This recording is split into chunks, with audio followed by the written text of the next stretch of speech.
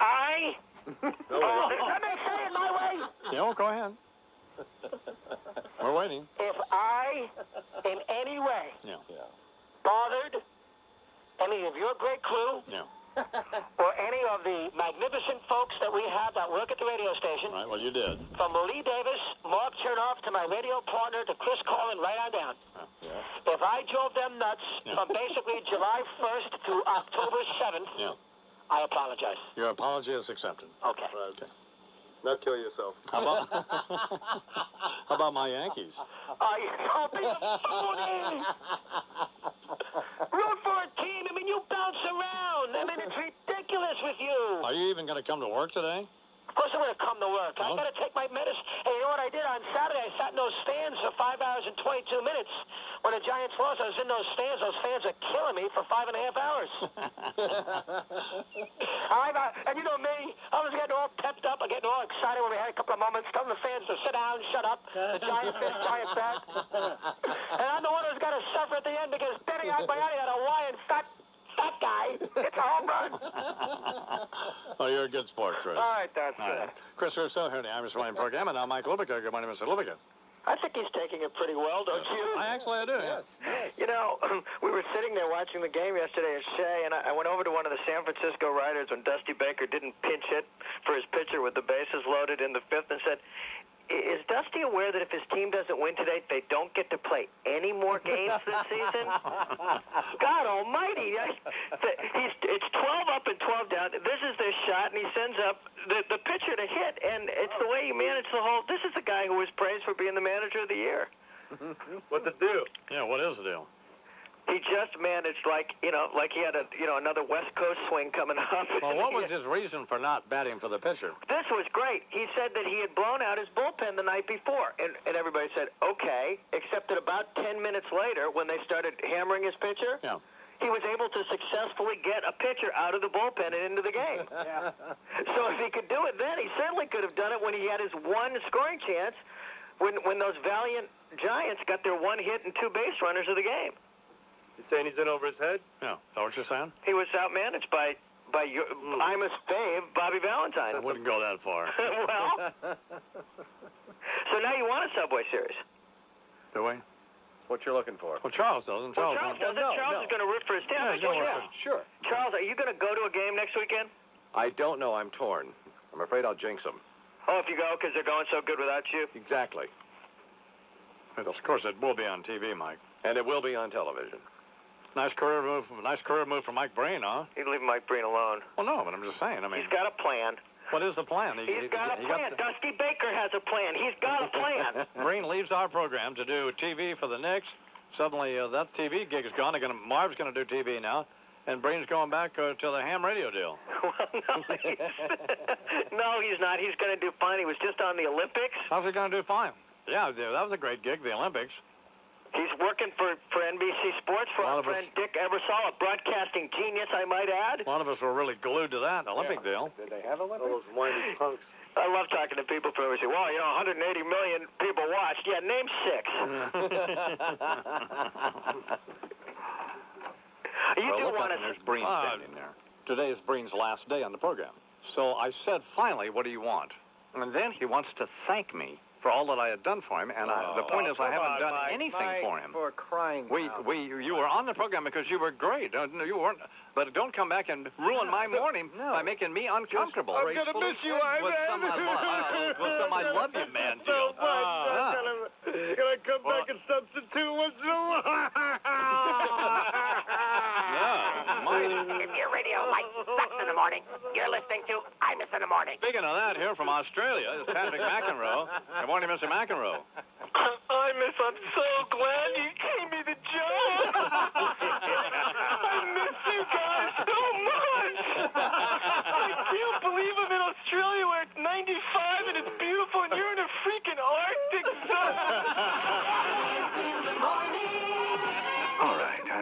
read to you from a list of words, and for each word that you hear, I want you to tell me the first thing that pops into your head. Good morning. Patrick. Good morning, Imus. This Imus Sports Report is brought to you by the Hackensack University Medical Center. Hey, what a last 25 minutes of the show, huh, Imus? What are you talking about? Well, That's uh, putting me to sleep out here. What are you talking about? I mean, wait a minute, what's Boomer's got nothing. Yeah. You're talking to your wife about what kind of I don't know what you're talking about with her. Well, I mean, hello. Interesting things from the Imus uh, household. Well, Come on. I was It's a interested in slice of eye life. life, sure. Come on, Pat. I mean, my goodness. on. well, Boomer brought No, nothing I to the guess table, and uh, Boomer's really upset about this whole Howie Long thing. You know, I was over at uh, the Fox Studios yesterday. I met Howie uh, yesterday, Mhm. and he actually mentioned to me that um, he really, really enjoys coming on the show. well, that's great. What a buffoon. He's not a buffoon. Yeah, he's a He's buffoon. a dork. You guy's really a is. dork. It's a huge old He's fat a dork. big dork. How can No you yucks. say that about who cares Howie? whether he Oh, you, enjoys you coming get on his or not? Corner now? No, but I mean, I'm just saying that, uh, you know, Boomer brings nothing to the table. Well, he brought nothing this morning, that's for sure. So, Yeah, he took stuff away. And I'm bringing it to the table, and you don't put me on. well, we're putting you on now, but I mean, I I don't think you're going to endear Table yourself to me by dissing Boomer and then conversely dissing my wife. How's I'm, that help? I'm not here to endear myself to you, Imus. I'm here to report scores. Well, so far it's Imus show five, McEnroe zero. Well, the New York way- Yankees, I man, are still alive. The I wouldn't Bombers get- exploded for six first inning runs last night, um, and the relief pitching pitchers were able to hold off the Oakland A's Moron. seven to five. The win gives the Yankees a series three games to two. Right, The A's were right. almost able to come all the way back. Take a Mr. breath. Automatic, Take a breath. Mariano Rivera, shut the door. Hey, by the way- first baseman Jason Giambi said, "Hey, we can still be playing this one." We have news in the. Uh, Wait What, just a minute. Wait just hang a on a minute. Wait, God, wait, I'm trying to talk to you. Cuts? I'm trying to Patrick. talk to you. Patrick. We have Let me hear news. Well, I wouldn't get overconfident here because we've had news in the Breen uh, camp. Breen now has been taken off the TV for the next thing, and they're putting Marv Albert back in there. Breen's been boomered. You're and uh, kidding. Breen has been boomer. Now, now Breen's back doing radio. So Man. Breen, Breen left this program. He's going to have this big TV career. What would happen? Are you suggesting that he might want come, might want to come back to this show? I'm not. I'm not. I'm not. I guess maybe. Are you threatening me? no, no, it's I'm not, not. it's no, not no. intended as a threat. It's informational. That's Yes, all. I just thought you would like to be, I, uh, you would be up to date on what's going on. Just almost. I'm very, very up to date on It's what's like going a on. it's like a lame Bob Raissman column. So you know, where Bob and uh, David Hinckley sit around and decide and, and see who can retype a press release quicker.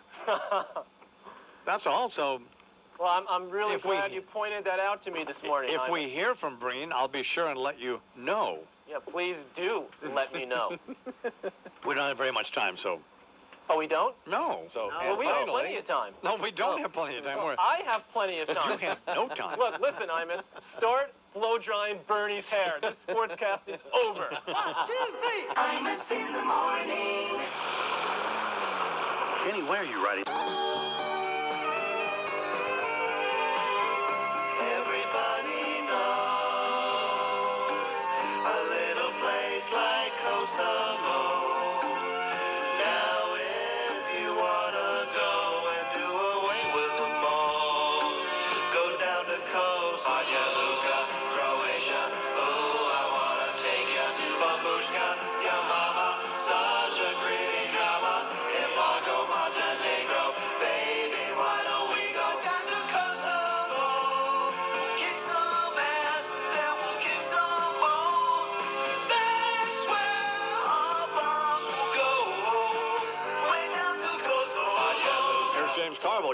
Carville. Good morning, Mr. Carville. Good morning. This is your special Mideast correspondent for Imus in the Morning, James Carville. Man, how happy are we for you? Well, how happy am I? How happy am I? I mean, it was. Uh, got to give Barak a lot of credit. Well, it's been interesting running against a guy who uh, bears many of the characteristics of your guy. My guy's still in office. He's not. If your radio sounds funny in the morning, you're listening to Imus in the morning. Tom Friedman, foreign affairs columnist, op-ed page, New York Times. Mr. Friedman has won two Pulitzer Prizes, the National Book Award, and has just been published, Globalization for Idiots. Exactly. Good morning, Mr. Friedman. hey, good morning, Don. Do you have a tie? On a... God, I saw you on the news hour last Yeah. night. Jesus. You just came back from the gym. God almighty, could you maybe shave, comb your hair, and put on a shirt and tie? it's a news hour. You're not in a chat room at MSNBC.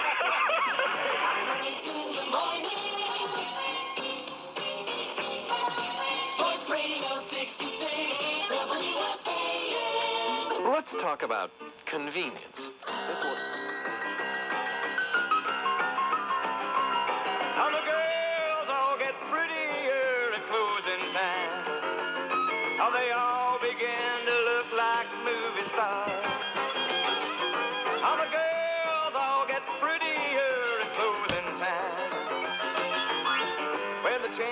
Taking place, it puts the on every face of the fallen angel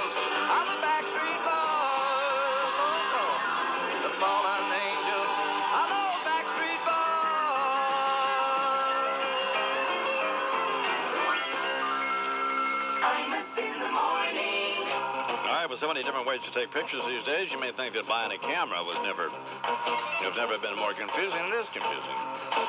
You're better off just going to a Nikon dealer and let, let, let, let- tell them what you want to do, and they'll sell you the appropriate camera.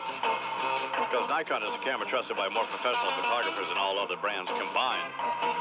They have a camera for every kind of photographer. Pros from around the globe depend on the rugged Nikon F5 and F100. TWA fan Highway Patrol.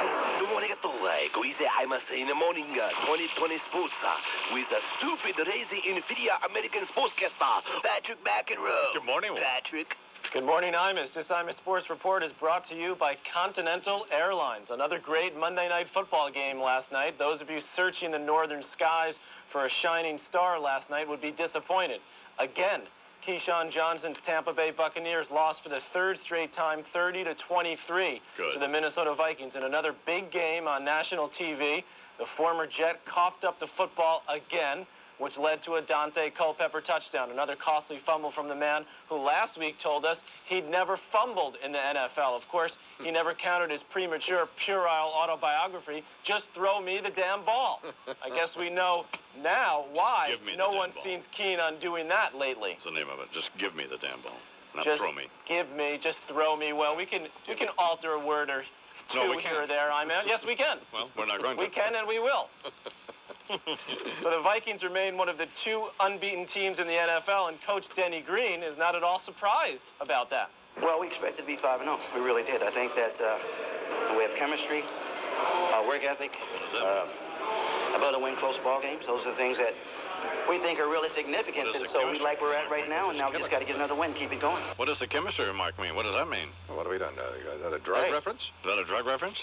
Uh, I don't sound think like it so. to me. Well, I don't. I don't believe so. well, I don't think we need to make that assumption at all. well.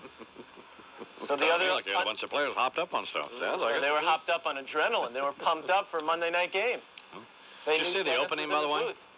I actually missed it. You know, I list, I heard the first about quarter of the game on uh, on the radio, and I have to tell you, I know I gave Boomer a little hit yesterday, but it was, they, they were great. I loved listening to them on the radio. I, I saw, I heard the first quarter or so uh, in my car last night. So anyway, we can roll a tape of. Um, do, we, do we have permission to roll the opening of Monday night? Just- we, we don't just- have we, we don't have permission, but does that matter? No, it doesn't. Can we get the tape of Dennis Miller taking his shirt off and stuff? Uh, let's we'll, effort that. We'll work on that. Yeah, I'm sure Bernard on it. is on it right away. Excellent plan. No. Maybe you could take your shirt off too, Bernard. Why don't you get on this? why, why don't you just finish your sports report? Yeah, just give me the love- damn scores. I love Just give us the damn scores. Okay, the other, of course, undefeated team in the NFL are the Super Bowl champion Rams, who are on a bye week. Rookie head coach Mike Martz gave them an unprecedented week off, but many, many players voluntarily came in to work out in the weight room and watch film, sort of like the Imus production crew. it's all about the work ethic, I man. Now, will Vinny or won't he? Jet quarterback Vinny Testaverde was knocked out of Sunday's game on the first series, and his Jets went on to absorb a 20 to 3 pounding by the Pittsburgh Steelers. So the big question at Jet camp this week is will Vinny be ready to go Sunday against the now resurgent Patriots in Foxborough? Here's Jet rookie head coach Al Groh. After further review, the analysis at the stadium stands. We don't have any excuses for how our team played. There you have it, straight What? from Al Groh. Is Vinny going to play or what? well, I, What was I that in think he is. response to? What was he? That was in response to that question. Will Vinny play? Oh, I for see. some reason, for some reason, he decided to go into his upon further review comments. Hmm. It sounded to me like Al was a little bit irked at the New York media. Surprised that someone could get into that situation, isn't it? Yeah. Well, first there was Broadway Joe, I man. Now there's Fifth Avenue Dan.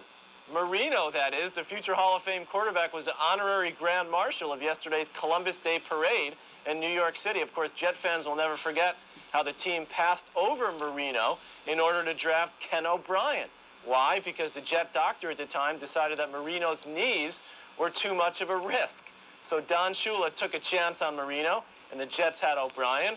then Browning Nagle, then Boomer Esiason. Of course, the man Bernard once said had a weaker left arm than Bob Dole. That will be fine. Countdown to the Subway Series has begun. Don't tell John Rocker, but the New York Subway Series. Of course, Bob just- Dole, it's his right arm, by the way. Oh, excuse me. I'm sorry. Well, Throw me Well, the damn pen. that's what you you would got know. the point. You got the point. God. Man. Just get the damn arm right. We're running very short of time here, Patrick. Finally, the damn arm right. Hey, you're running real short of time. yes. Yeah. And so are you, conversely. you would be running short of time as well. So I guess that means that this sportscast is over? It's, it's, it's rapidly reaching its conclusion, yes. Blow dry your hair. hair Blow dry your time. in the morning. At One Airline, we believe our best customers deserve our very best service. At I tried to walk, but I was lame. I tried to talk, but I just stuttered. Why, what's your name? What's your name? WFAN in New York and Infinity Broadcasting Station, part of the uh, Viacom situation. It's time for the local news, and here with that is Charles McCord. Good morning, Chuck. Morning, I man. Big local story, of course. Well, I'm packing up my game. I'm head out east. Where the Imus in the morning is the name of the beast. Got a crib on Central Park, Wild Wild West. From making glib ad libs about their boners and breasts. And executive jets take him where he wanna fly. And you can just bet he make a grown man cry. Started out in Palmdale, moved to Cleveland. Then came to New York when he became the Iron Man. Hung out at LA's, maxing with the stars. Drank champagne, got forced out of bars. Did a lot of blow, but never did OD. Mike got his version of that Mitzi Josie. Got a posse to surround him, cause the more's the merrier. Chuck McCord beat pimping for a Boston Terrier. With crazy brother Fred a real McCoy. With a 6X beaver on his head, you know the Iron is a cowboy,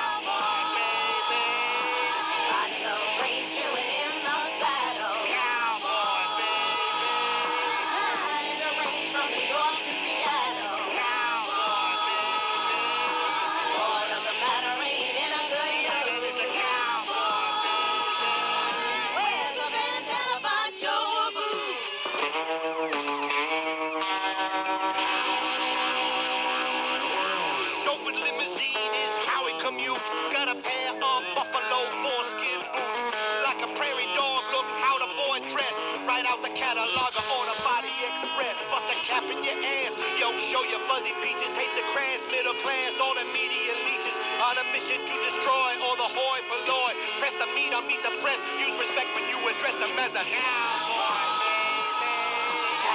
On his hip and three in his pants. Cowboy, baby. Hey, he just a. Miles Hurt gun The island is a cowboy, baby. Chaps on his jeans,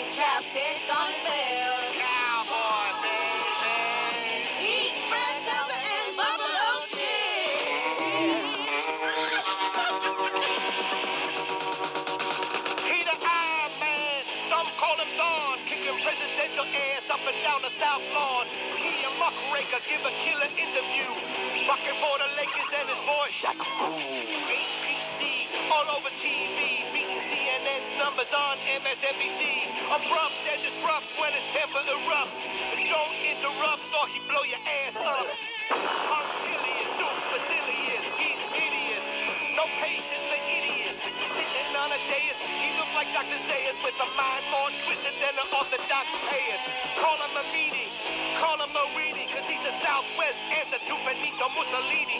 Some who cheer him, others just fear him. Almost everybody'd rather not be near him. Put it politely, he's a world-class prick. Wear his jeans so tight, see his Radio Edit. He's amused when he abused all his power and clout. Try to snooze, you're gonna lose. You suck, get out. Cowboy,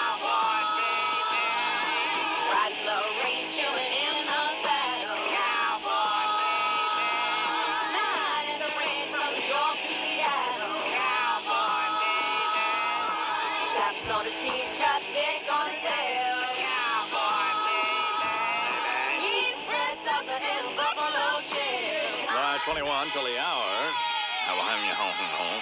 Here on the I'm Morning program, MSNBC is doing a one-hour special at 7 p.m.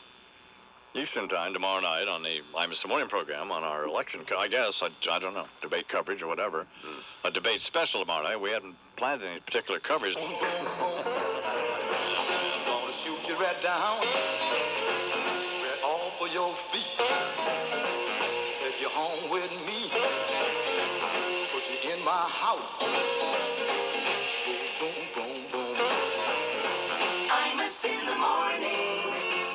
those people who still think that job searching on the internet is only for college kids or computer geeks? Think again. Bob Dole doesn't need that Viagra. Here's Warner Wolf, or whatever. Uh, good morning, Warner. Good morning, I man. Good pitching always beats good hitting, and it also beats no hitting. Seattle's Freddie Garcia went six and two thirds. Three Seattle relievers shut out the Yanks on six hits, struck out 13 Yankee batters. And the Seattle wins it 2 0. The Yankees are now hitting 235 in the postseason. God. The heart of the order Jeter O'Neill, Bernie Williams, Justice, and Tino Martinez, two for 18 combined. Wow. Not They'll- good. Not good. Wow. They'll play again today at 4:10 p.m. John Halama, who's from Brooklyn, goes for Seattle against Orlando Hernandez, 6 0 in the postseason. Tonight, Mets and Cardinals game one, Hampton against Kile. With bad news for Charles's Cardinals right-hander Garrett Stephenson, who won 16 in the regular season, elbow problems, finished for the rest of the year. Wow. Done. Jim Fregosi became the sixth manager to get the axe yesterday after the season with the Blue Jays. And talk about a crybaby. How about White Sox first baseman Frank Thomas? What'd he do? You know, he's known as the Big Hurt. Yeah. Yeah. He went 0 for 9 in the three-game sweep lost to Seattle Yeah. and says it was unfair because they were all-day games. and it was tough to see the ball. There you go. Well, see, the Mariners were playing the same day. Man. Hurting us. Idiot. Under the Bobby Knight School of Training, I man. Yeah. On September 25th, for missing a block in practice, Georgia Tech football coach George O'Leary forced six foot seven, 315 pound offensive tackle Dustin Vaitekunas to stand alone while four teammates ran full speed over him. Whoa. Punishment for missing the blocks. Oh, no. Vaitekunas was left sprawling on the ground, gasping for breath. O'Leary defended his actions, saying it was a breakdown of communication. Veda Kunis left Georgia Tech one day after the pummeling. His mother is now pursuing criminal charges against O'Leary. All right. How about that? Yeah, I like that. Bobby Knight said, way to go, O'Leary. That's what we should do to McEnroe. oh, you asked, you, Just run right over him.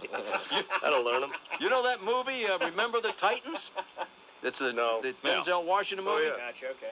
All the football action scenes were performed by actors with little or no football training.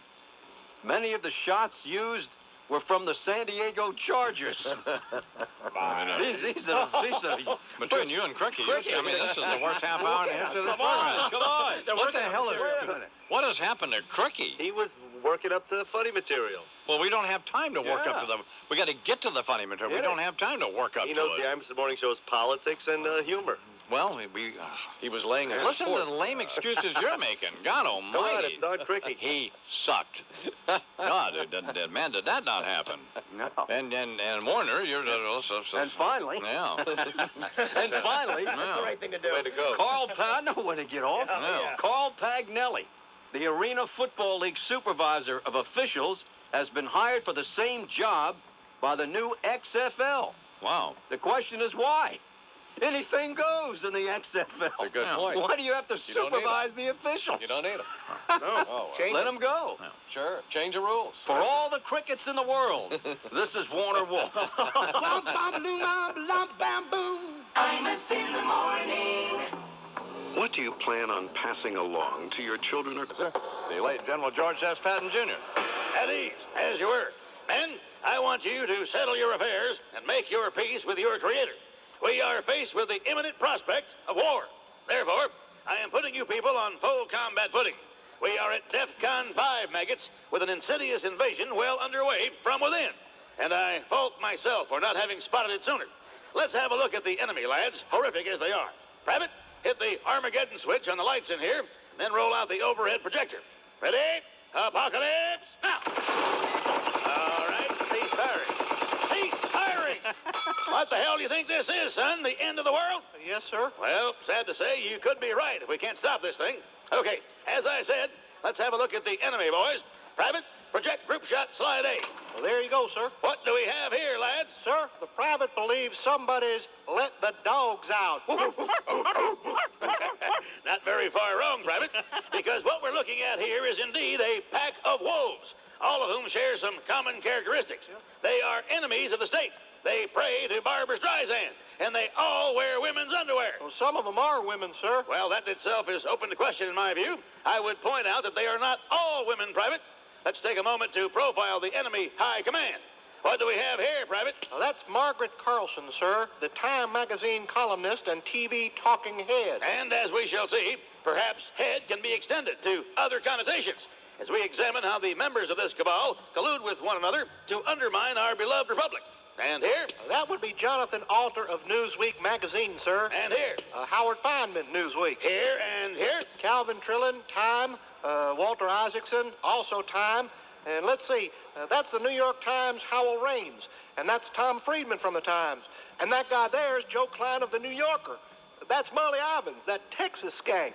And that there's Al Franken, the buck-toothed wallowing panderer to the avant-garde. Right. And I see Jan Wenner, and over all there... right, at ease. You get the drift, boys. Every one of these people is a representative of a vast left-wing conspiracy that seeks to subvert the will of this nation by shamelessly, blatantly, and brazenly promoting the presidential candidacy of Al Gore like he was a fing cancer cure. What these people are doing and have done for the Gore campaign is the equivalent of journalistic fellatio, giving him an irrevocable get-out-of-jail-free card for everything the crazy bastard does. Each time he says he personally saved the life of some 95-year-old woman by ripping the door off her burning automobile while George Bush stood by playing with his pud, they all nod in adoring agreement like a bunch of those rear window bobbing head dogs.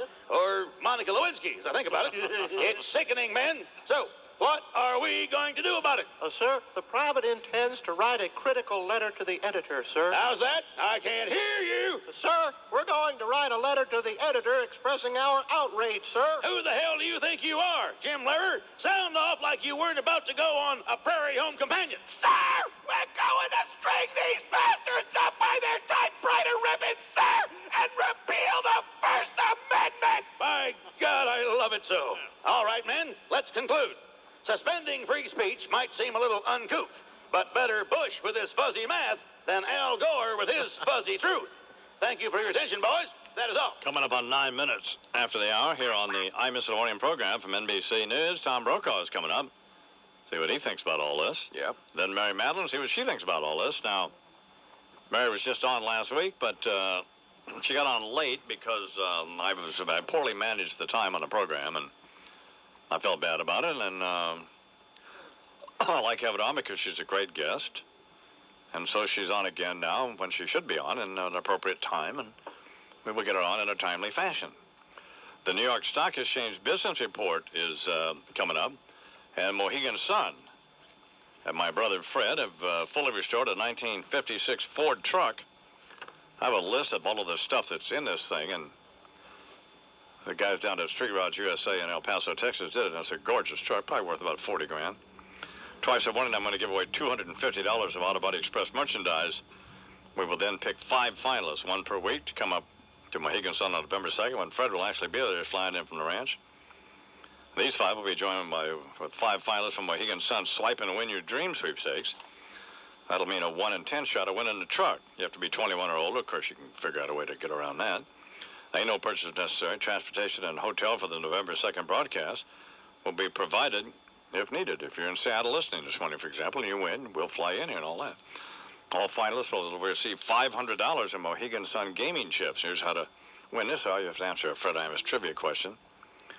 Uh, back in high school, when they're in Prescott High School, uh, Fred's classmates were taking, well, books and apples and other stuff to school. What is Fred infamous for taking to school? Call the law 1-800-370-IMUS. Unfortunate incident in my brother's life, but fortunately nothing untoward happened, but the potential certainly existed, didn't it? Nevertheless, it's in the it's in the Fred uh, cherished memories file. Time for the national news and world events and all that sort of thing.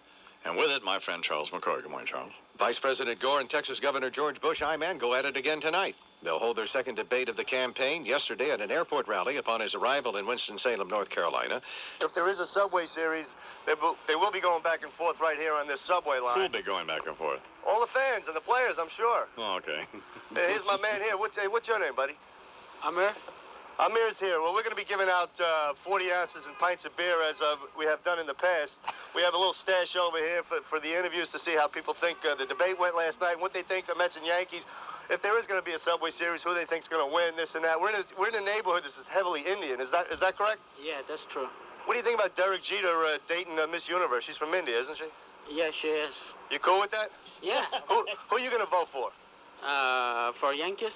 He's voting for the Yankees, so you get a sample of what we're going to be uh, we're going to be doing out here today. we'll we be actually back- have uh, the Punjab Barbershop We will. around the corner. We'll get back to you in a moment. By the way, about it. Imus, you know this is the uh, cocaine capital of New York City, Jackson Heights, and they're still reeling from the time when you uh, stopped uh, putting that stuff up your nose. 12 minutes after the hour. Shut up. He's crazy, crazy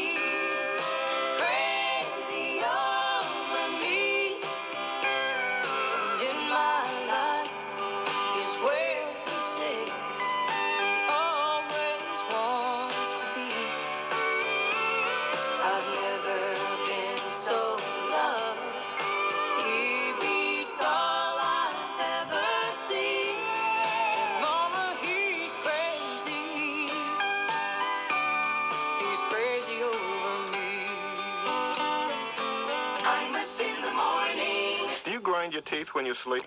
Here now, the senior senator representing the Commonwealth of Massachusetts, the Honorable Edward Moore Kennedy. Hello. As noted, this is Ted Kennedy. My fellow Bay Staters, my uh, fellow Americans. Excuse me uh, for just a moment. Is, is there a staff member close by? I'd like a short Chivas, please. Could I get a f***ing drink here? Thank you. After watching with you the second of our three scheduled presidential debates, I believe it is time for radical, sweeping intervention in this process. We are not learning anything of depth and detail regarding either of the candidates seeking the high office I once sought and my brother attained. Neither Vice President Gore, who enjoys my support, nor Governor Bush has managed to flesh himself out through the two engagements we've seen so far. Now, while it's true that the vice president has revealed a deeply ingrained facility for shading the truth, concocting events, and fabricating stories, he has failed to reflect any of the alpha male attributes with which Naomi Wolf struggled to endow him. And Governor Bush, while confirming for us that he possesses an intellect somewhere between uh, that of Keyshawn Johnson and a folding chair, has similarly failed to demonstrate the passion and grit we expect of a candidate for America's presidency. Now, debate number two is relegated to history. An episode so genteel that its round-table atmosphere made this political veteran wonder whether he was watching a debate or a three-way circle jerk directed by Jim Lehrer. Oh, uh, regarding Mr. Lehrer, I would suggest to him that he is not moderating an episode of All Things Considered. Brian Lamb, the C-SPAN dead guy, would bring more emotion to the debates than does Mr. Lehrer. This can no longer be tolerated. The issues are too great, the decisions too profound. To that end, I recommend that the Commission on Presidential Debates completely alter the town meeting format of the third and final debate on October 17th. We must demand something far more provocative, something to invite the serious and sharp exchanges that will permit Americans to truly assess which of these individuals deserves their support. Therefore, let the word go forth from this time and place that Senator Ted Kennedy suggests the following that the Presidential Debate Commission give Jim Lehrer the hook before he humiliates himself any further with questions that might be asked of a clinically depressed fifth grader, and that he be replaced in the final debate by Jerry Springer. That the Commission give thoughtful consideration to adopting a format commensurate with Springer's techniques. Allow the candidates periods during which each may insult the other's manhood and ancestry, including, but not limited to, describing each other as uh, needle-dicked, oil, or tobacco-soaked sons of bitches, while impugning each other's wives, coffee can calves, and children's general insufferability. I further suggest that audience members, divided into Gore and Bush camps, be provided with D batteries, fruit, and the like to throw at each other, the moderator, and the candidates until the debate shall conclude with authorities arriving with fire hoses. Indeed, ask not whether the final debate to determine the first new president of the new millennium should be a town hall. Ask rather whether it wouldn't be a hell of a lot more helpful if we could characterize it as a town brawl. Only then, my fellow Americans, can we determine if either of these candidates has anything in his yam bag sufficient to, uh, say, drive a babe off a bridge, or whether, euphemistically speaking, they checked him at the door. Thank you. And uh, don't forget to vote. The preceding political announcement was paid for by a soft money contribution to the Democratic National Committee, routed through the offices of Time and Newsweek magazines via the Lippo Bank of Indonesia, shunted through the Los Alamos National Laboratories, Wen Ho Lee Courier, and the Gore 2000 Campaign Committee, Margaret Carlson, Treasurer. We're talking with Brian Lamb from C-SPAN. The book's called uh, Who's Buried in Grant's Tomb, and they, uh, actually, one of the fascinating things about these little excerpts about the presidents is their last words. What are the most interesting? I, I think one of the more interesting ones is Franklin Delano Roosevelt. I have a terrific headache. You do? No, Franklin Oh, Delano Frank Roosevelt's last words. well, yeah, give Brian Lamb some aspirin, damn it. oh, you mean FDR. Oh, oh. Never mind. I got it. I saw compassion in his face. Yes, yes. Your radio sounds funny in the morning. You're listening to Imus in the morning. Here's Howard Stern on the Imus program. Good morning, Howard. Yeah, I noticed Howard. Brian Lamb. Wow, what a coup. How'd you land that one? Well, Famous last words. I know what yours are going to be. Hey, Deirdre, put that down. It's loaded. Sports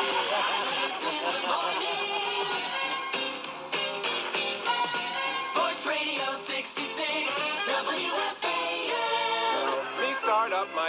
You, no, no. Why don't you stay? Why don't? No, no. You are a little jerk, peckerneck. Jerk, jerk, It is jerk, 16 till the jerk, hour. Jerk. Why don't you concentrate on staying at the controls, you How in? God's name would she understand that? Because I'm- I don't know. No, I know. Well, just say she would. Just She say would. She would. Okay. I'm talking uh, through the intercom. My question is, what's the point? You a- shut up. Oh, God. What is the point of? Why don't you just? Here's the thing. I'm talking to Rustin. I look up, and Penis Nose is out of the studio. Well, Mark had to go to the bathroom. So you just you get that. That's like driving a car suddenly to turn the steering wheel. We can bring you back in the control room. You're unbelievable. Two seconds. No, no, no. It was wasn't two seconds. I had See the that? door. I had the door open. And Were I you heard Al you. Gore? I heard you. It wasn't two seconds. I recuse myself. God. He just gets up and leaves the room. My question for Lori and for Mark is, what is the point of these traffic reports? Well, Lori gave you her answer. What What is the, your answer, Lori? People are planning their trips. They want some information. See well, they're then get let to them work. listen to Wins. well, one of the old news stations here in New York. They want to know where the. And plus, their traffic reports they make up. Well, limo drivers want to know. Get out. It's a quarter till the hour here on the Imus in the Morning program. It's time for your chance to win a 1956 Ford truck that Mohegan Sun had my brother fully restored, and you- plus you can win $250 worth of Auto Body Express stuff. Answer the following question.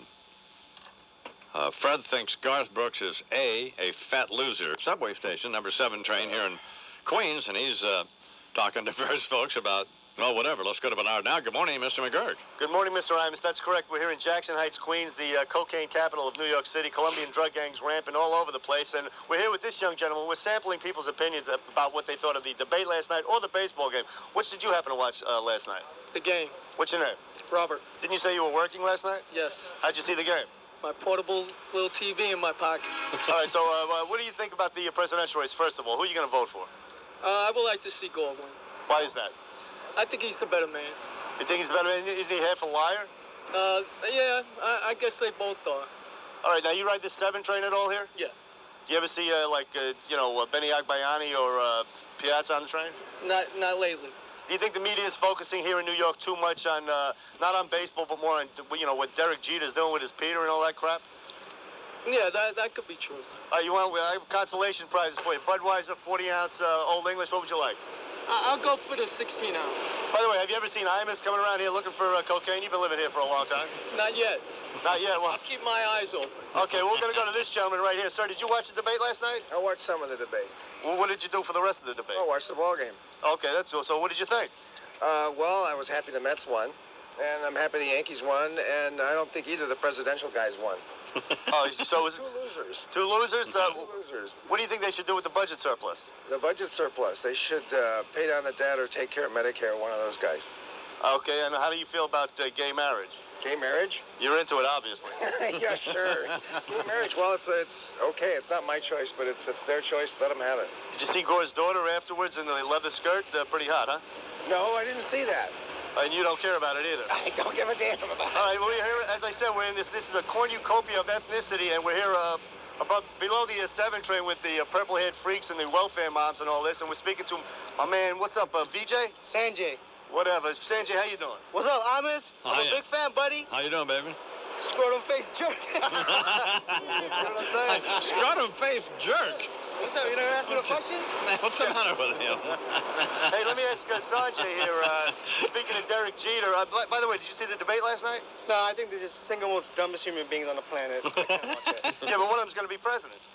yeah, that's why this world's going underground. Oh, what did you watch? I watched the Mets game. Okay. All right. You ever see Benny Agbayani on the train over here? No, but I did see Eddie Murray a couple of back, couple of years back. Let me ask you this: Derek Jeter's hosting Miss Universe. She's from uh, India. What do you people think about that? I would like to beat him with a cane. It's not right. Stick with his own people. You're not into that interracial no, marriage? man, no. All right, Bernard McGurk at the T-shirt or Roosevelt something, man? Avenue subway stop, talking with uh, San- Sanjay, or what the hell his name is, who took it upon himself to diss the I-Man. It's 11 minutes now until the hour. Imus in the morning, 2020 Sports with Patrick McEnroe. Keep those teeth in your mouth, Patrick. You can fight somebody. Ah. Good morning. Patrick.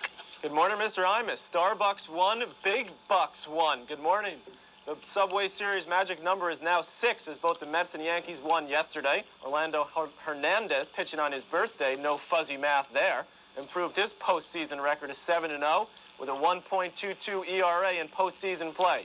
He gave up just six hits and struck out seven in eight innings, but the Yanks still trailed Seattle by 1 0 until the bottom of the eighth when they exploded for eight straight hits and went on for a 7 to 1 win. David Justice got the rally going with a double, then scored on Bernie Williams' single. Justice revealed after the game that he's quite the mathematician. We're down one run, so all we need is one run. So definitely you don't want to go into Seattle down two. That means you got to win four out of the next five games. No fuzzy math there, huh, man?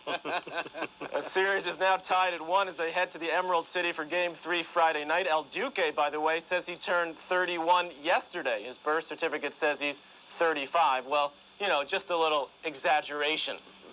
The Mets, meanwhile, opened strong in St. Louis, beating the Cardinals 6-2 in Game 1 of the NLCS. Mike Hampton stifled the Cards and got the win for the Mets. The Mets led 6-0 going into the bottom of the ninth when a rash of errors gave St. Louis a couple of meaningless runs. Now, Todd Zeile homered for New York in the top of the ninth and had no trouble after the game stating the obvious. Anytime you can get ahead uh, in a series like this, you know, it helps. Certainly is better than dropping the first one. I was on the phone with Charles during the game. and it was after the debate, obviously. Right. Right. And uh, top of the ninth or so. We when Todd Zeile hit that home run, and I guess you didn't have you were in a different room or something. Right. So I told Charles, I said it's now six to nothing. He didn't believe me. God almighty. But That was, um, that was just an old-fashioned butt kicking last was. night. And then, uh, we cut some Piazza pro- with a big hit. do you have any of those promos we cut for the uh, those game promos for the Mets? Are they around anywhere? Mark is getting them right now. So uh, the uh, Mets announcers, particularly that uh, that uh, whining sissy Gary Thorne, are uh, are, are uh, upset now that uh, claiming that I that I called them drug addicts. And they said, I, I said, uh, of course, that's absolutely what I didn't do. But oh well, good. How could, any- how could anyone get upset at you calling someone a drug addict? yeah, I mean, they asked me to cut these 10-second promos. Let me hear one of them. You know, I'm listening to this Mets broadcast, and I think, how come we don't drug test the announcers? I'm in the morning, 5:30 to 10, WFAN, New York. Well, that's all I said. Big deal. Good. And Gary Thorne calls up Gary whining, Cohen. or whatever his name is, calls up whining to Mark. Tell him to tell him I said to shut up. That's it. Trying to get the trying to get the calls right. well, I guess that was Bob Murphy. yeah, whatever. Gary gets them right all the time. He does. He is, he is, the, he is unbelievably great. Here is Bob from Wichita, Kansas, trying to win $250 worth of uh, Auto Body Express merchandise on line four. Good morning, Bob. Good morning, Imus. So Fred thinks uh, uh, Garth Brooks is the greatest country singer who ever lived, or a fat loser. What's your guess? Fat loser. Well, you just won $250 worth of All You're right. a fat loser. You just won $250 worth of ABX stuff, plus you're eligible to win this truck. That'd be really cool. All right, hang on. We'll get your, your, your address and all this stuff. What's your favorite radio station? WFAN. WFAN and out in Wichita, Kansas? Yeah, I watch you on MSNBC. Oh, I see. I get it. Yeah. All right, Bob. Okay. thanks. Okay. That makes a lot of sense. Moron. Patrick McEnroe continues. Well, the U.S. men's soccer team in Costa Rica played to a scoreless tie last night Oh, in yeah, a lot of people know Ohio. how that came out. Scoreless tie. Yeah, well, nobody cares. No, everybody cares. The outcome means that the Americans won't know if they advance to the next round of qualifying for the World Cup tournament, the biggest sporting spectacle in the world. It's the biggest knife fight their- in the world, is what that is. so they play their last game of the sem- their semifinal qualifying Nobody stage cares. at Barbados More people on care November about 15th. your t- your team tennis situation They Well, care about this. we know that everybody cares about that. Please, God Almighty. How about the NHL last night? Speaking of what nobody cares about, four overtime games in the NHL, including a 3-3 tie in Atlanta. Yes, Atlanta, where the Thrashers tied Washington 3-3. Apparently, there weren't too many people in the crowd for the Atlanta Thrasher You're game. kidding. Here's, Donald, here's Donald Audette after the game. We're playing well. We're playing to win, and uh, that's all that matters. Uh, you know, even there's nobody out there. Uh, we we suck. Fans down in Atlanta, we know that. And lastly, I man, Mark Messier returned triumphantly to Madison Square Garden last night. And what did he do? Well, he scored a goal. Here he is. Centering pass for Messier. Deflects in. Yeah, now Messier's going to get a goal. Wait till the crowd hears the announcement. Speaking of drug testing announcers. Oh, man, God Almighty. All right, Patrick, thank you. Patrick McEnroe here in the Imus Morning program at six minutes till the hour. Imus in the evening tonight at 7 o'clock on MSNBC with another hideous election special. You know how that's going to work out. But the last one they did was actually pretty good, wasn't it? Yes, it was. Yeah, so maybe they'll able to piece something together Mhm. here this morning. We had Tim Russert on. We're going to have Laura Ingraham. Then uh, Secretary of Energy Bill Richardson, George Stephanopoulos from ABC News, uh, that goof Oliver North, and from CNN Jeff Greenfield. They're all uh, coming up. But it's so prescriptive.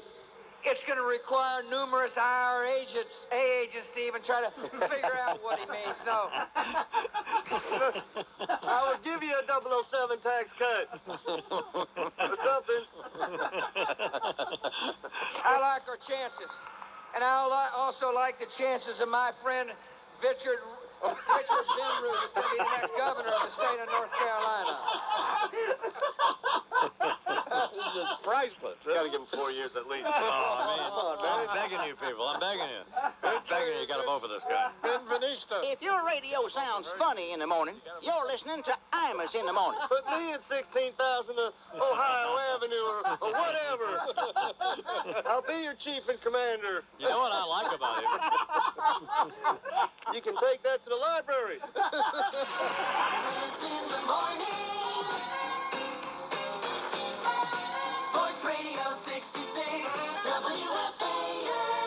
When you fly to the West Coast, you want to fly first class.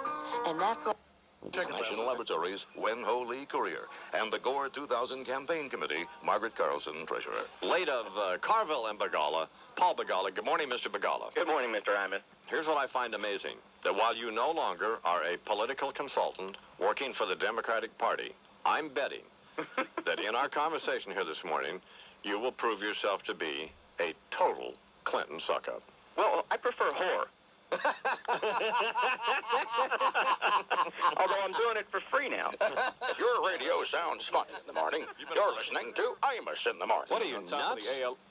What's the matter? Toll was popular when you were in high school. Al Jolson was popular when you were in high school. Oh, why don't you grow, you grow hair, you I have plenty of hair, you wrinkle up old skunk. Wrinkle up old skunk. What are you, nuts? Who do you think you're talking to? Wrinkle up old I think I'm talking to Senator Ann Richardson with a cowboy hat on. in the morning. Sports Radio 66, WFAN. Pat Summerall here. Imus in the morning, 2020 sports with Patrick McEnroe. Man, what a weird looking little dude. You suck. Patrick. Good morning. Patrick. Good morning, Imus. This Imus Sports Report is brought to you by Continental Airlines. Two down, six to go. The Subway Series magic number is six today, following wins by both New York baseball teams yesterday. Last night, the Mets thoroughly dismantled the Cardinals at Busch Stadium 6 to 2. The Amazing scored two runs in the top of the first, and lefty Mike Hampton shut out the Cardinals over seven innings. Hampton got out of a bases loaded jam in the first, and in the seventh, survived two on fly balls to the track by Edgar Renteria, and this one here by Jim Edmonds. Now the stretch by Mike. The pitch. High fly ball hit deep to left center field. It's way back. It may be playable. Agbayani can't get a play. It's gone. A home run. Oh, he caught it. He, he caught it at the wall. Bob Murphy on WFAN. Oh, man. Now we know why Bush and Gore talking so much about the prescription drug policies. For the Cardinals, it was a story of missed opportunities. They stranded 11 base runners and were 0 for 13 with runners in scoring position. Here's Cardinal Eric Davis. We did what we, we set out to do. You know, we, we stuck to our game plan. You know, but he got some tough pitches when he needs them. You know, he got some tough calls when he needs. What was your game plan? To lose? Yeah. Apparently, blame, blaming it on the umps. Uh, Seattle shut out the Yankees for 16 straight innings and were six outs away from taking a commanding two games to none lead in the ALCS. And what But in happened? the, well, in the eighth inning, the New York Yankees erupted for seven runs, capped off by this Derek Jeter blast. Mesa Diaz swung on and hit in the air to deep right. That ball is high. It is far. It is gone. Derek Jeter puts a cap on the inning by drilling a two-run home run in the lower stands in right. A two-run Jeter homer. And the Yankees now take a 7-1 lead.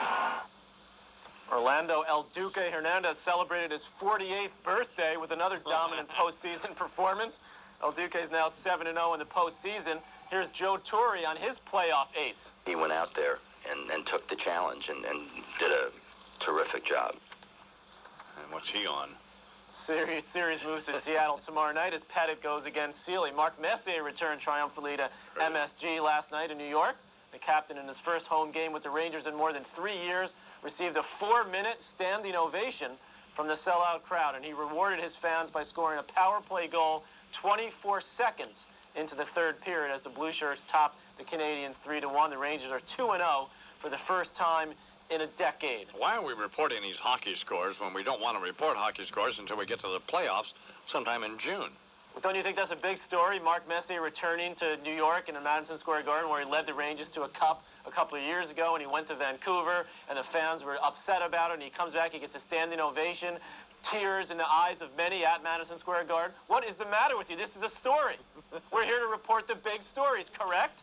Well, I, well, okay. I mean, Mark Messier. No, no, no, not, not okay. Yes. Well, I decide what goes into the sportscast, I man. What's that? What's happened to oh, you? God. God, Well, what did you? holy Toledo. Speaking I of make the prescription call. drug, Protest. what in the hell are you on? You've lost your mind. Not you are out of your mind. You're frightening me. Out in L.A. Yeah, well, I, yeah, it doesn't take much to frighten you. in the morning. All right. the Hooters calendar babes are in town this week, and of course, that means a party. They'll be signing autographs at the Hooters on 56th and Broadway today from noon to 2, and again from 5.30 to 7.30. Friday, they'll be signing at the Hooters in Staten Island on Highland Boulevard from noon to 2. They'll make little X's there. Somebody will verify their signatures for them, I guess. That's lovely. To go hang out with the girls and a few anticipated celebrities like, well, Patrick McEnroe. Tell you the kind of celebrities, the kinds of celebrities who show up for these events are Pat O'Brien, Patrick McEnroe, all of the Baldwin brothers, people like that, you know. Yeah, yeah. So get your 2001 Hooters calendar. Actually, uh, meet these folks and. Oh man, this is painful. And uh, well, they're fun places to go, I guess, and food's pretty good. So check it out, Hooters. You know. Now 17 after the hour.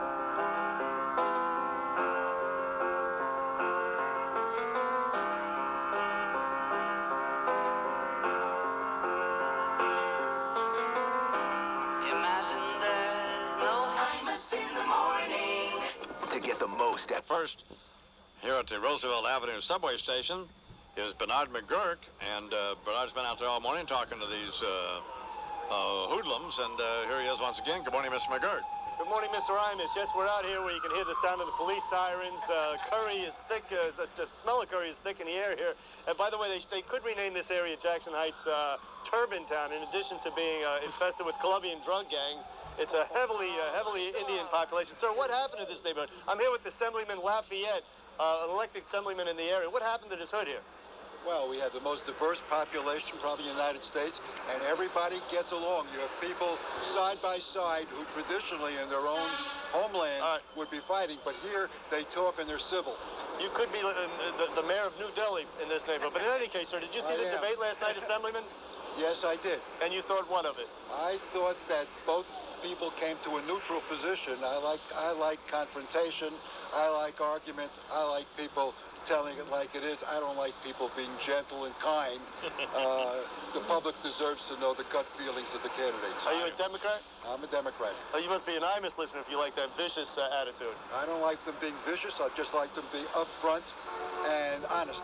Well, we're here also uh, outside this, the number seven train, as the I-Man mentioned. Uh, and here's a transit officer who happens to patrol this seven line. Officer McGuire, is it? Yes. Good morning, sir. Uh, listen, you, you anticipating a Subway series? Hopefully, yeah, sure. By the way, did you see, did you see the debate last night? No, I was watching the games. Okay, so uh, you have no opinion on that? The debate? No. How could he have an opinion? He didn't see it, Bernard, you moron. Well, maybe you heard about it, you idiot. Don't call I the was cop. listening to you earlier this morning. Don't call a cop an idiot. No, he's calling you an idiot. Well, speaking of which, uh, there was a lot of talk last night about racial profiling during the debate. Uh, have you ever arrested anybody for RTSWB? Riding the subway while black? Come on. I raise individuals that break the law. You do. So you, you so you never have uh, profiled anybody? They break the law. Doesn't matter what color they are. You ever see purple-haired freaks and uh, welfare moms uh, frequenting the subway? No. What's the weirdest thing you've ever seen on the subway? Tell us something. Give us something here. I'm just gonna kick my Some butt. some of the guys I work with. Doing what? Just, just being the guys. Hey, do you know uh, last night? What's your name, sir? Renee Menudo, and I head a local organization here in Queens. This guy's a Democratic activist. You know, yesterday was Bill and Hillary's uh, 25th anniversary. They spent the night in Chappaqua. Do you think they shared a cigar and read Leaves of Grass last night or what? I would guess they did, really. You really do think so? So what are you doing out here this morning? Well, we wanted to remind everybody that once again, the Democrats are going to win New York and Queens as they have for years and years and years. Let me ask you this. Do you think Gore should dump Lieberman uh, after what happened? No, I don't see any reason for that. Really? After his arrest, you don't think he should dump Lieberman? I don't think we have to be concerned about that. Lewd pub, uh, public, in public in, in a, you know, shaking Don't your willy out there. don't stutter, don't stutter, Bertie, don't stutter. All right, well, I guess I'm done. Mario, what are you doing over here? I'm waiting to talk to you, Bernie. What was the, uh, how did you feel about the debate last night? I flipped back and forth from the game. Uh, I thought they brought up some good points, but I also heard that they said that America should be uh, humble because of it. we're a great power. And look what happened, uh, you know, with the uh, terrorist attack. I'm uh, a little upset and uh, can't, you know, I can't uh, say anything more about it. Now, don't go getting all serious on me. Are you a Met fan? Absolutely. Mets, Yankees. I love the Mets. Do you think they should be playing that uh, song on the Mets uh, games, Who Let the Dogs Out, or should they save it for like a WNBA game? for the WNBA, for sure. no bigger dogs than the W than the uh, than the NBA. That'll be, I mean, we're about tapped out here. Thank you very much, Bernard. Very fine report. You, you Bald-headed stooge. Yeah, Bernard is a... Bernard is What, a... 40 ounce? We have 40 ounce. We're giving away free 40 Bernard is. Roosevelt Avenue subway s- uh, Pints of beer stop is 34 minutes past the hour. And now from CBS Sports, here's Phil Simms. Good morning, Mr. Simms. Good morning, Mr. Imus. How are you? I'm doing well. Did you watch any of the debate last night? Yes, I did. Oh, you did? Yeah. Okay. No, I lose. You lose. I lose? No, I no, lose. no. He does. He bet you didn't. I, said bet- absolutely. I said you I did. guarantee you didn't watch one second of it. Oh, I did, yes. Oh, you did? I, I watched, uh, I tried to watch probably about the first half hour, 40 minutes I watched, and then I said, okay, let me turn over, and I'd, I'd had enough. So then, then you, you switched over to the Mets game? Yes, I did. Oh, you did. Are you a Mets or Yankee fan? Um, I'm a Yankee fan. Oh, you are? Yeah, I'm. I'm a. You know, I don't know. I just came up here, and like any kid growing up, I just heard so much about the Yankees. When I got up here to New York, I became a Yankee fan. Man, they but I like the I like the Mets too, but but I am more of a Yankee fan. They were lucky, the Yankees. Have, well, I don't know if they're lucky. Well, I guess they were. They've exploded for seven runs there in the bottom of the eighth. but Hey, shoot, I thought it was over. I said, well, it was a nice run they had. This, this, you know, hey, they've had a three out of four. That's really special. And you think, well, they, they finally, the, the tank is empty, and they come, you know, you, it's amazing. They come through again, and so, and I got hope. I think they can somehow get it done. would be great for us. I mean, it would be great at Subway Series. It did, I guess when they used to have them with the Dodgers and the Giants and the Yankees, that everybody just took it for granted. But uh, oh man, you know, because I, I think yeah, it would be great, and, and I don't know if the rest of the country is going to be real excited about it, but uh, it's almost like Giants and Jet fans. You know, they they have a tremendous loyalty to either team. There's not. I don't find a lot of people that are in the middle. They either like the Giants and hate the Jets, or they love the Jets and hate the Giants, and, and hate the Jets, or they love the Jets and hate the Giants, and the same with the Yankees and Mets. So it would be it would be a lot of fun because we always say, you know, hate hate is a good thing for athletics, and we you would have it in that series. and I think uh, I don't think the rest of the country would be entertained by it because so many Yankee fans are hoodlums, as are uh, as are Mets fans. So Mets fans generally tend to be pretty scummy, as opposed to uh, Yankee fans. Wow, but, uh, what a, that's just, you know, that a way to label them all. Just put them in a little thing. Yeah, that's good. so we got some good football games coming up this weekend. Yeah, uh, yeah, we do. Uh, J- Jets at New England, that could be a pretty good game. I think it'll be very good. Uh, yeah, uh, I think the Jets will be a little desperate after losing the game, especially the way they lost it. And New England is, uh, we talked about it last week. I, I thought they would beat um, uh, the Indianapolis Colts, and they're, they're a very... Honestly is. That's not exaggerating. All right, uh, 19 till the hour. Here's Miklaszewski from the Pentagon, NBC News. Good morning, Jim. Good morning, Don. So, uh, did you see Meet the Press yesterday? You know, I didn't. What? What were you doing? Uh, Some poker somewhere? well, uh, under some... Bouncing up and down? Bowling, perhaps? Bowling, maybe, but if you've ever seen me do the poker, you would know how absurd that is. If your radio sounds funny in the morning, you're listening to Imus in the morning. No, when you're okay, Jim. oh, excuse me.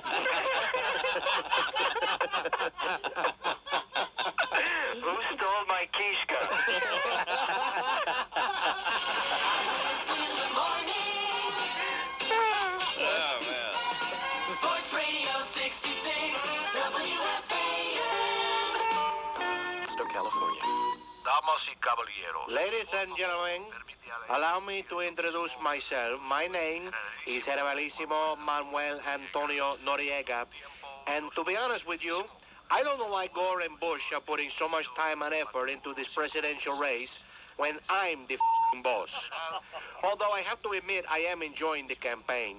There just isn't anything quite as amusing as Mr. Gorgeous with his penchant for hyperbole. I mean, all the exaggerations and fabrications. He's like that character from Saturday Night Live. Uh, right after I invented the internet, I came up with the idea for Velcro. Yeah, that's the ticket. Now I hear they're getting on his ass about claiming he raised 10,000 chickens. Say, wasn't that the name of an Imus in the Morning record album? It should have been, because everything Gore says sounds like some kind of wacky radio prank. 10,000 chickens? I'm telling you, that would be some pile of chicken if it wasn't such a colossal load of horse. Put that in your lockbox and smoke it, you phony bastard. Oh, I, I forgot. You don't do that ever since your sister was sick. By the way, how come you haven't discovered that cure for cancer yet? Don't get me wrong, I've told my share of little white lies and exaggerations. You know, like, oh yeah, this stuff is pure, it hasn't been stepped on once. And I couldn't put the whole thing in, sweetheart. I didn't want to hurt you. But this guy absolutely takes the cake. I mean, Clinton didn't resort to that much bullshit trying to get Monica to swallow his salchicha. But even funnier than Al trying to make it seem like he was everything from the fifth Beatle to the guy who came up with the idea for liquid paper is Georgie Jr.'s unique syntax. Jesus, I speak better English than this moron. Boy, I love to be in the room with the guy who does the closed captioning for the debates. Hey, hey, anybody know how the f- you spell subliminal? I mean IRA agents? Where have you been sending your tax returns, Georgie? Dublin? W sounds like Tom Brokaw trying to do a tongue twister after a half bottle of tequila and a massive head wound. I mean, he makes Stephen Hawking sound like Demosthenes. But at least he's got a platform, like his prescription drug plan for seniors. I believe him when he says he wants to make drugs more affordable for those on Medicare, because they aren't as cheap today as they were back when he was doing them. Of course, that was only because he got the presidential family discount. But that ended the minute his pussy old man decided to send me up the river. You know, in a way, he should thank me. Because if I wasn't here in the federal lockup, he'd still be getting the Primo Yayo from the Noriega Prize Club. And then he'd never be president. Because you think he's got a problem speaking now? You should have heard him after he did a couple of eight balls. He's the one who needed the interpreter. Imus in the morning, 2020 Sports with Patrick McEnroe. Welcome. Patrick. Nice to see you. Good to have you. Very kind of you to stop by. A pleasure. Yeah. Thanks again. Thanks for coming by. That'll be fine, David. Uh, good morning. Patrick. Good morning, Imus. This Imus Sports Report is brought to you by JetBlue Airways. Oh, who, ca- who cares how old he really is? call Orna- Orlando El Duque Hernandez the new Mr. October. Celebrating a birthday yesterday, who knows which one? The Yankee pitcher improved his postseason record to 7 0 as he kept the Yankees in the game until the Yankee bats finally came alive in the eighth inning. The Yanks scored seven runs in the eighth and won the game 7 1 to even the ALCS at one game apiece. Derek Jeter homered just as his good buddy Alex Rodriguez did in game one, and Jeter said, Hey, forget about our past. What we've done in the past has no bearing on this postseason. You know, you, you can't stress that enough. Who cares?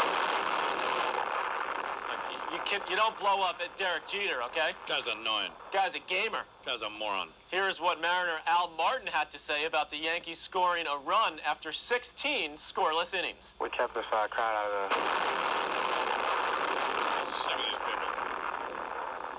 Hey, how are things going out there in L.A. with you and your wife and all that? How's that working out? Things are going great out here. Really, she just got a job uh, starring in an independent film. Gonna Really? Shoot, yep, going to shoot here in L.A. in uh, just over a week's time. So this worked out then? It's work. Well, it's working out great. This, the show's working out great. I'm out here at the set in Burbank at NBC. I got my crew with me, Yeah. taking care of me. We just went out and got a few donuts. Right. And uh, what, what could be better? So what time do you have to get up out there to do this I get up at about 1:45. 145. 1:45. I usually try to get to bed around you know 9, 9:30, Yeah. sleep for a few hours, come in, and then uh, usually get home and try to crash for a couple more hours, and then I get the whole day ahead of me. And then what do you do the rest of the day?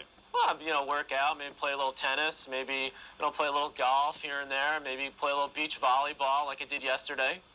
So nothing, in other words. What do you mean nothing? Well, you don't do anything. I do a lot of stuff. Well, you don't what, do what anything. el- What else do you want me? I prepare for the show. You play golf and tennis and play volleyball. I, pre- I prepare for the show. I do my homework. I read up. I watch the debate. What, what do you want me to do? You ever see uh, uh, Pat O'Brien? I've, I'm probably going to have dinner with him tonight, in fact. So is it is that the, a problem for you? Troubling. Why is that troubling? I don't know. It just is. You shouldn't be having dinner with Pat, Pat, Pat O'Brien. Maybe, maybe he wants me to do some stuff for his show for Access Hollywood. Who knows? I, I wouldn't count on that, Patrick. Well, why not? Well, I, I don't. I mean, you sound like Wyatt now. Why? Why? Why? Why? I don't know. There's no answer to that. There's just I wouldn't count on it. That's all. So what what do you think I should be doing other than what I am doing in Los Angeles? What other things do you suggest that I do? What do you think, Charles? Well, I really don't know. I guess he's doing kind of Los Angeles type things. Yeah. I mean, you have uh, a car out there? Yeah, I have a car. My friends in Lincoln were able to uh, give a car to me to use, and I do some stuff for them at the U.S. Open. A beautiful uh, Lincoln LS. It's a great car. Give a car to you. Well, they'll let me use it for a while. You know, I got to you know pay for it probably at some point. It's a great car. You should try it. A Lincoln? A Lincoln LS. Yeah. No, no, I don't think so. Well, I think you should. No, you, you need a Mercedes or a Jeep or something. You should be driving a Jeep. Hey, listen. Some of us, uh, you know, use American stuff. Okay. How about a ever, Jeep? You ever think about that? What's wrong with a Jeep? Well, I have a Ford Explorer at home in New York, but Oh, you know, I good. like Try- to change, try change driving it up that. a little bit. Yeah. You should Well- be driving a Jeep. Why should I be driving a Jeep? Because it's the best sport utility vehicle on the planet. Everything else is a pretender. Everything else, including, uh, by the way, the Mercedes, they have this M55 sport utility vehicle. Right. A pale, a pale imitation of a Jeep, incidentally. Uh huh. So, So No, I should be. very- so I should be getting one of those, huh? If you're talking four-wheel drive, you're talking. yeah, you should be driving a Jeep. That's all. Period. Well, I disagree. Well, we don't like your Although attitude. Smack you Well, I, around. well, I don't I like wish you your were attitude. here so we could smack you around a little bit. well, I'll be back. soon. Actually, I'll be back next week. Well, maybe I'm coming. I'm coming back to New York next week. I'll be in the studio uh, Tuesday and Thursday next Uh, week. Just great. Yeah, it is great. What That'll else? be great because I'm going to get right in your kitchen, I man. What else going on? Well, the Mets win Game One of the NLCS with a 6-2 win in St. Louis. Mike Hampton gets the win, and Darryl Kile takes the loss for the Cards. Kile gave up only five hits and three runs over seven innings, but as he said, hey, it wasn't good enough. In these kind of games, you, you can't give quality pitchers a lead like I, I did to Mike today, and uh, they pitched a good ball game and we lost. You know, uh, plain and simple, uh, I got beat. No, you didn't pitch a good ball game. The ball game you pitched sucked. You lost. Absolutely. You You're lost. a loser. You lost heavily. You are a loser. well, someone who didn't lose, I man, was the captain Mark Messier. He returned to New York, and the Rangers are off to a 2-0 start for the first time in a decade. Messier scored a goal as the Blue Shirts beat Montreal 3-1. The home opener was a big one a for the Rangers. And And Mess- that's a good game. And Messier knew it was a big one. Obviously, the division, the conference is so tight. Now, now, lastly, lastly, I man, Yeah. I know it's the official policy of this program to wallow in the public humiliation and misery of others. That's why we'll be keeping a close watch on the Cincinnati Bengals, who probably could suck enough to please the I-man Schadenfreude. Despite a new stadium and a new head coach, the Bengals are 0-5 for the fourth time in 10 years. Offense is shaping up as their worst ever. Yeah. Now get this, the giant Diamond Vision replay screen at Paul Brown Stadium faces the Ohio River. On Sunday, eight boats pulled up to watch the game on the easily visible scoreboard and didn't appear to hear the horn from an oncoming coal barge that nearly ran them over. Hey, haven't these fans suffered enough? Pittsburgh plays Cincinnati this weekend, so that's it, I-man. Yanks win, Mets win, Rangers win, and George W. wins. I'm Patrick McEnroe. Imus in the morning.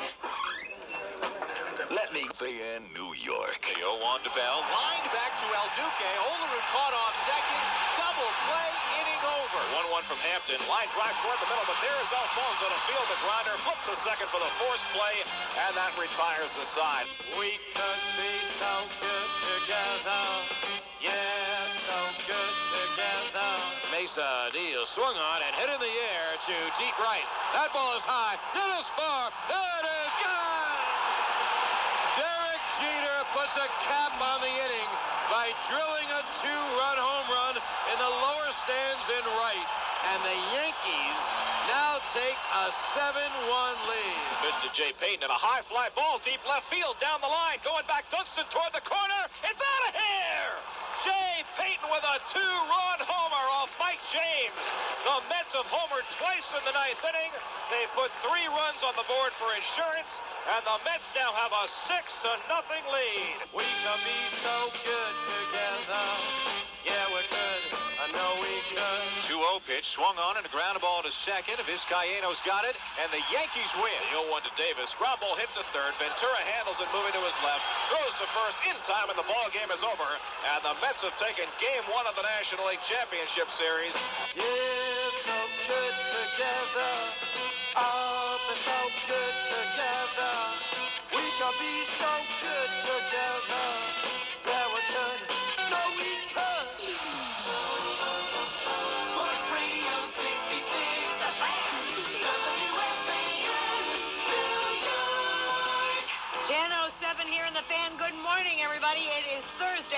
the 12th of October, and he is Jody McDonald in New York. She would be my partner working on short rests, much like the pitchers are asked to do during these postseason uh, outings. Susan Waldman. Hello, Susan. Uh, I think what we need is another trip across the country for this group. Yeah, but after Oh, last man. night's results, you might just have to take a trip across the Triborough. Yeah, well, That that, could- at least that I could can work get some for you, eh? Good decision by the president. Uh, Well, let me do some fundraising here, and then we'll. Okay, yeah.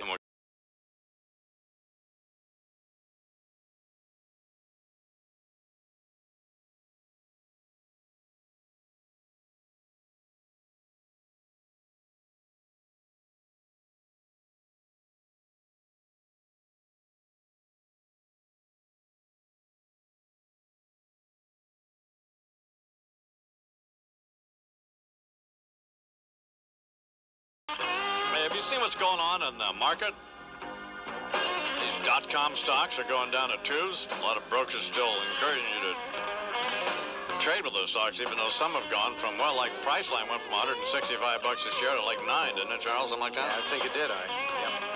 People at buyandhold.com, they're an online brokerage outfit. They encourage you to invest in quality companies for the long term, which seems to make sense. And at $2.99 per order, we'll be buying a broker another Mercedes. Buy and hold enables you to invest more of your money instead of having, you know, uh, a trade-happy broker eat your money with high transaction costs. Buy and hold accounts are great for your kids, your spouse, yourself. Not sure what company to start investing in? Just visit Buy and Hold's website. Check out what fellow buy and holders are doing. Buy and Hold's website has tons of educational information and research to provide you with the tools to make informed investment decisions. Hold believes that you should buy stock in companies whose products you use and names you trust. So if you agree, then uh, it does make more sense than essentially playing video poker with some of these online outfits. People are, you know, losing their, uh, losing everything in these deals. It's just not good. Buyandhold.com seems like a pretty good idea to me, to me. So. But maybe it's not. Check it out. Well, of course it is. I think I should be more positive I think you in that they a have more purchased positive. this advertising Absolutely. time, and I should be more enthusiastic about it. But you know, what am I going to do? B U Y A N D H O L D dot com. Buy and hold Securities Corporation. Uh, well, we, you know, we could use uh, Senator. Uh, that's, uh, that's an interesting slip. We could use Secretary Richardson in the Senate from New Mexico. New Mexico. Certainly good. Diminishes Sure. clearly. It's just as to time to. Yeah. Left turn, dog track, Yeah, one mile. Time to just put in a note on his sweater and put take him out to take him down to Ruidoso and say, stay here, don't leave. You know, Domenici, he, he and I have this uh, love-hate relationship. It's mainly hate right now. No, we have a we have a good relationship. He's a hard-working guy. Last time I was in his office, though, you know, before I said anything, his face got all red. I knew that would not be a good meeting. but but he's a good senator. He's a good man. I know he's on your show. Buy Securities Corporation member NASD, uh, SIPC. Wow, you sure know how to pick a winner. Like the Nissan Pathfinder, the number one selling import SUV in New York. And now the winner is. The first time I heard Peggy Sue, I was 12 years old. The Russians up in rocket Now many wars have come and gone. Genocide still goes on. Buddy Holly still goes on, but his catalog was sold. First time I smoked, guess what? Paranoid.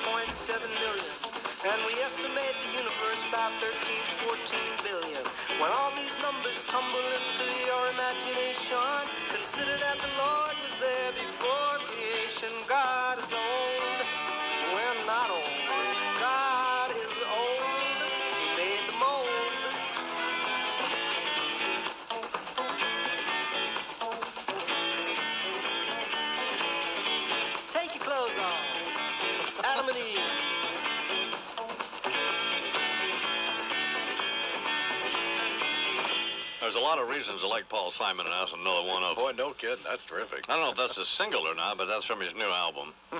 you the one. Paul Simon here on the Irish Morning Program. Happy birthday, Mr. Simon. It is uh, a quarter after the hour. You have brought us here and stripped us of everything we once had. You stripped us of our culture. You stripped us of our language. You stripped us of our God, our religion, our, our background. You cut off our roots, our all ties that we once had with our own kind in the East.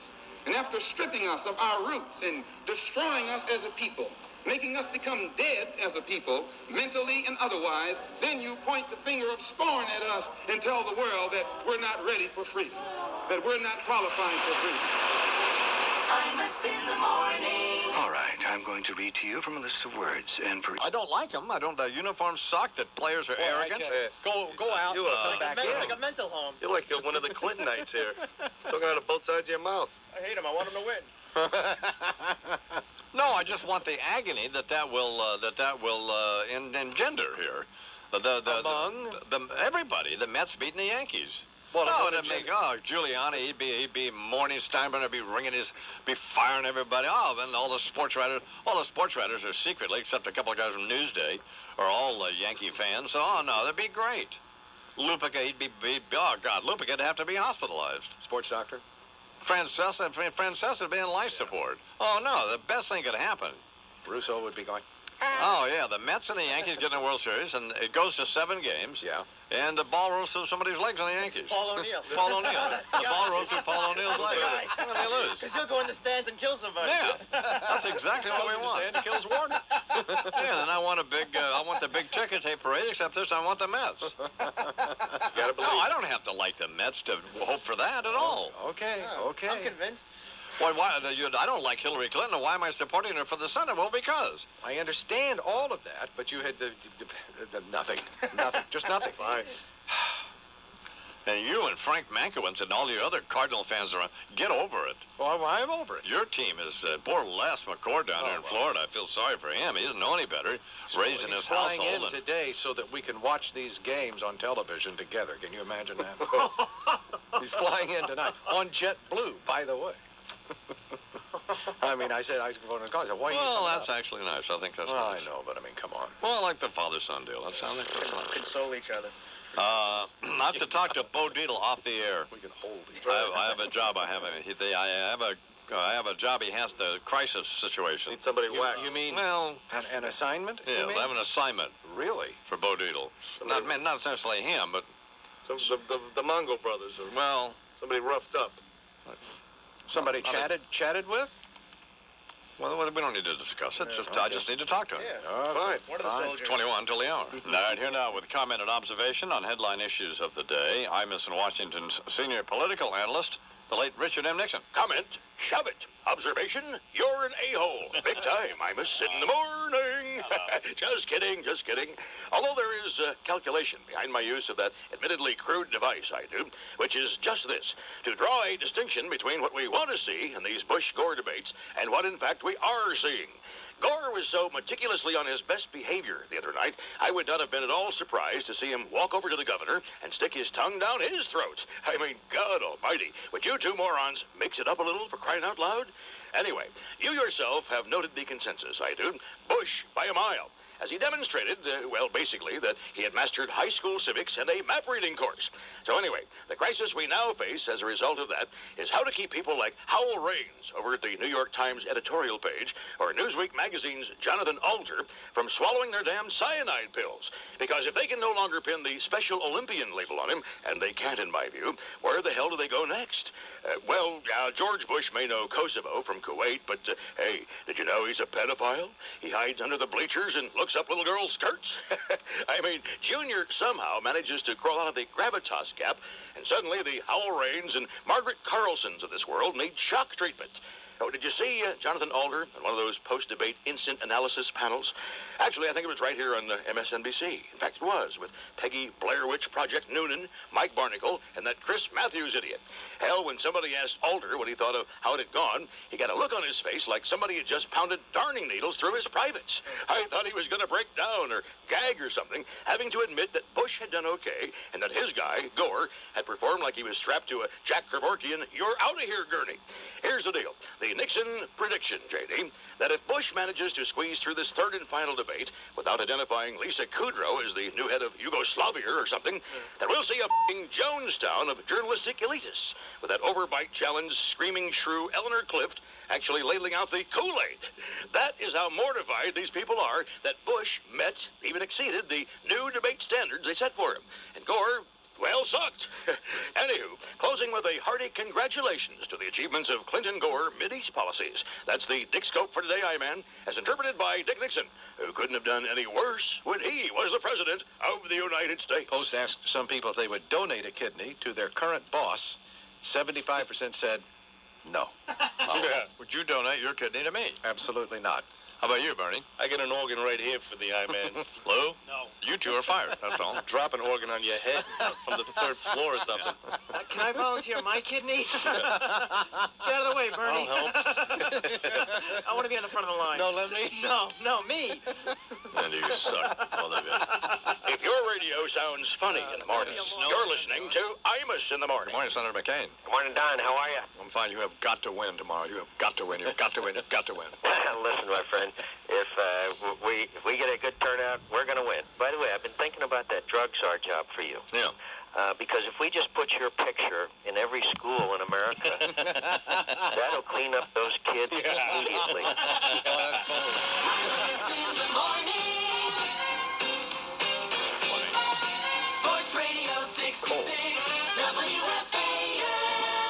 Hey, have you seen what's going on in the market? Hosts the Dallas Cowboys at Giants Stadium. Game time is 1 p.m. with Giants Game Day at 11:30, right after Mike Francesa and the NFL Now, exclusively on Sports Radio 66, WFAN, New York. 422, let's get a check of the TWA Family Sports and WFAN, your home for Mets and Yankees playoff game.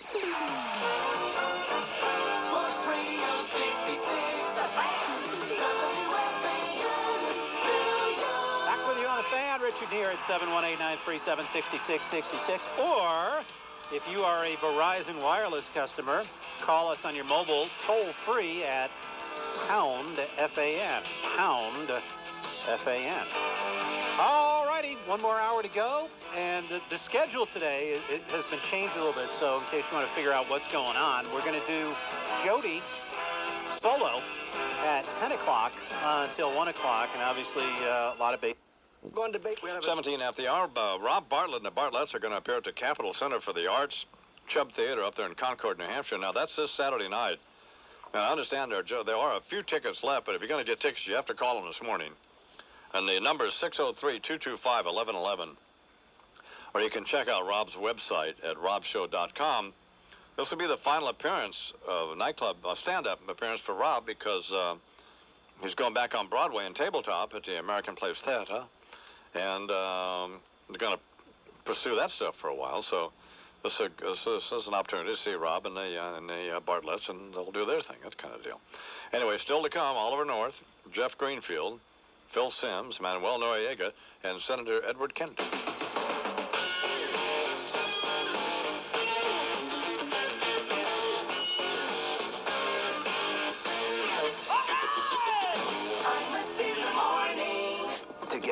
Get most out But in the morning program, Bernard is out at the Roosevelt Avenue subway stop in Queens, New York. There's number seven train there. That would be the train you would take if you were going to go to Shea Stadium, for example. Bernard is talking to various folks, and let's go to him now. Good morning, Mr. McGuirk. Good morning, Mr. Imus. We're here in Jackson Heights, uh, the cocaine capital of New York City, as we said before. We're trying to get people, to interview people. We have some consolation prizes, 40 ounces, pints, and all this, but these people are mainly working people, apparently. So we're going to talk to this young gentleman. Sir, what's your name? Hi, Alex. Alex, uh, what are you doing around here? I'm um, just hanging out till uh, I go to work later on. Did you watch the debate last night? Uh, no, I didn't. What, did you watch the baseball game? Uh, no. Well, what, did you, what did you watch, cartoons or what? No, uh, I don't really watch TV so much. Do you ride the subway here? Yes. Yeah, you ever sneak on the, the train here? Nah. No? don't. Did you ever get mugged on the train, the seven train here, the infamous seven train? No, no, never. Did you ever have your butt grabbed by anybody? Tell me something. no, no. no. All right, all right. Well, I guess we're done with you then. Thank you for your stimulating interview, sir. What's your name? Brian, how are we today? I'm all right. How you doing? Good, good, good. Hey, listen. Uh, yeah, well, you got a nice white shirt on. Where you Thank headed? you. Court. To work. To work. Okay, Yeah. cool. Did you watch the debate last night? No, I missed it. What went on? Uh, well, there was a couple of guys debating over sm- minor issues. Uh, no, but Okay. Did you watch the baseball game any Yes, chance? I did. Both of them. Uh, yeah, so you're Met or Yankee fan? Both, actually. Nick? All right. Both teams. Uh, you Let's take, go Yankees! You take the subway here? Yes, I do. You ever sneak on the subway? All the time. You ever get caught? All the time. You ever, you ever violate uh, been violated parole? Uh, well, on occasion. What's the weirdest thing you ever saw on this uh, number seven Weirdest train here? thing I've ever saw on the 7 train. Mm, that's Come funny. here. Come here. Let's get this little young lady over here. Come here. Come over here, folks. Hey, are you a Met fan or a Yankee fan? The Yankees? You like the Yankees? Yes. You voted for the Yankees? Yes. You watched the debate last night? Yes. Uh, yeah. You, you, so what do you think of uh, Derek Jeter? You like this guy? Rick Lazio, let's go, baby. Oh, my man's talking about Rick Lazio. I like that. Okay. All right, look, I like the green braces. They cool. They cool. All right, let's talk to uh, this gentleman. Oh, what do you got over here? You gonna light that up? Yeah, yeah. That's, that's illegal. Yeah, it's okay. All right, well, I guess that's a, a sample of the people that we have here at the moment. Anyway, uh, uh, Mr. Imus, the smell of curry is thick in the air here. Thanks very much, Bernard. 25 after the hour here on the uh, on, on the Imus and Owen program. Well, I just got some information from Merrill Lynch on Viacom. What's the deal? Well, uh, they're still projecting that it will uh, will reach $100 a share. Wow. Currently at around 50. Uh, they Merrill Lynch just had a big meeting with Mel, and everything went well, and they're very optimistic. So Very good. Before they take me out of here in handcuffs, right? Expect to make uh, candidate for Governor Bush and Vice President Gore. You know, I'm listening to this Mets broadcast, and I think, how come we don't drug test the announcers? I'm instead of morning, 5:30 to 10, WFAN, New York. So uh, we play that during the Mets game, and Gary, uh, what's the guy's name? Cohen. Cohen. Gary Cohen calls up Mark Whining, saying that uh, they asked me to cut some promos to play during his stupid Mets games on the radio. Yep. And uh, so I said, fine. And now he's whining, claiming that I call them all drug addicts. Well, Well, you- first of all, the guy's a little sensitive, isn't he? Well, Yeah. A little bit, You- you- yeah. well, he's he's there doing a baseball game, and he hears that coming on, and he Tell him got to a little shut up. upset. Tell the guy to shut up like he's got a job. What's he talking He talking says he about? wants to meet you out at Shea on Saturday. Oh, I'd be happy to. Absolutely. I'd be happy to. I happy mean, in the parking lot. That's fine. About 6.30. Fine, you can talk to me and Jimmy the Wag. That's it. Slap him. What else there. we got on there? Uh, any other promos I did? I mean, A lot of them. Jody and Susan make Russ and Steve sound like Plato and Socrates. I'm instead of morning, 5.30 to 10, WFAN, New York. That is brutal, that show. Have you heard that? Yes, I have. Good God. Anything else? I think there's one more. It's queuing Let up. me hear it. Socrates. Bob Murphy. I mean, poor old Bob is... Man, that's... Uh, Okay. He hate everything and everybody and everything about everybody, including the Cardinals. Imus in the morning, 5.30 to 10, WFAN, New York. I am the god of hellfire, and I bring you. in the morning. Let's talk about. And the last two are very good too. Yeah. Well, Joey back there working overtime. I had nothing to do. You know, he's back there. Drinking chicken blood. Yeah. Staring at the sun. and drinking chicken blood. That's exactly what he's doing. Man, I mean, just.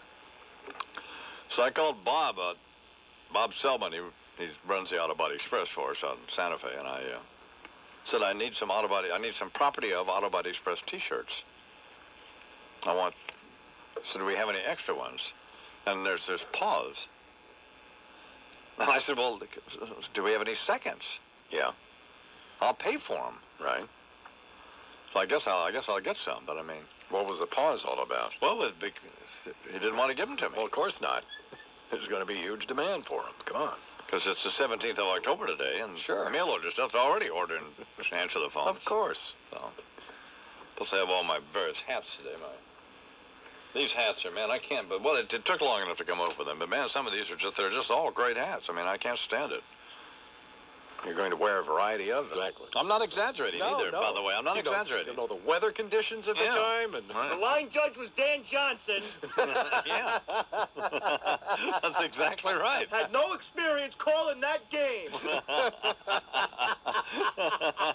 So I said to Wyatt, stop jumping on the bed or I'm going to give you a timeout. But he can't control himself.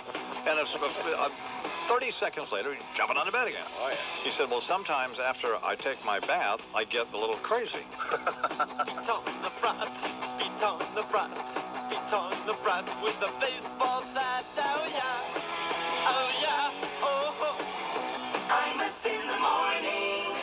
hold it between these two fingers, then you slip it through nice and... Favorite sportscaster gives Bob Dole such a tingly feeling down in Bob Dole's wiener.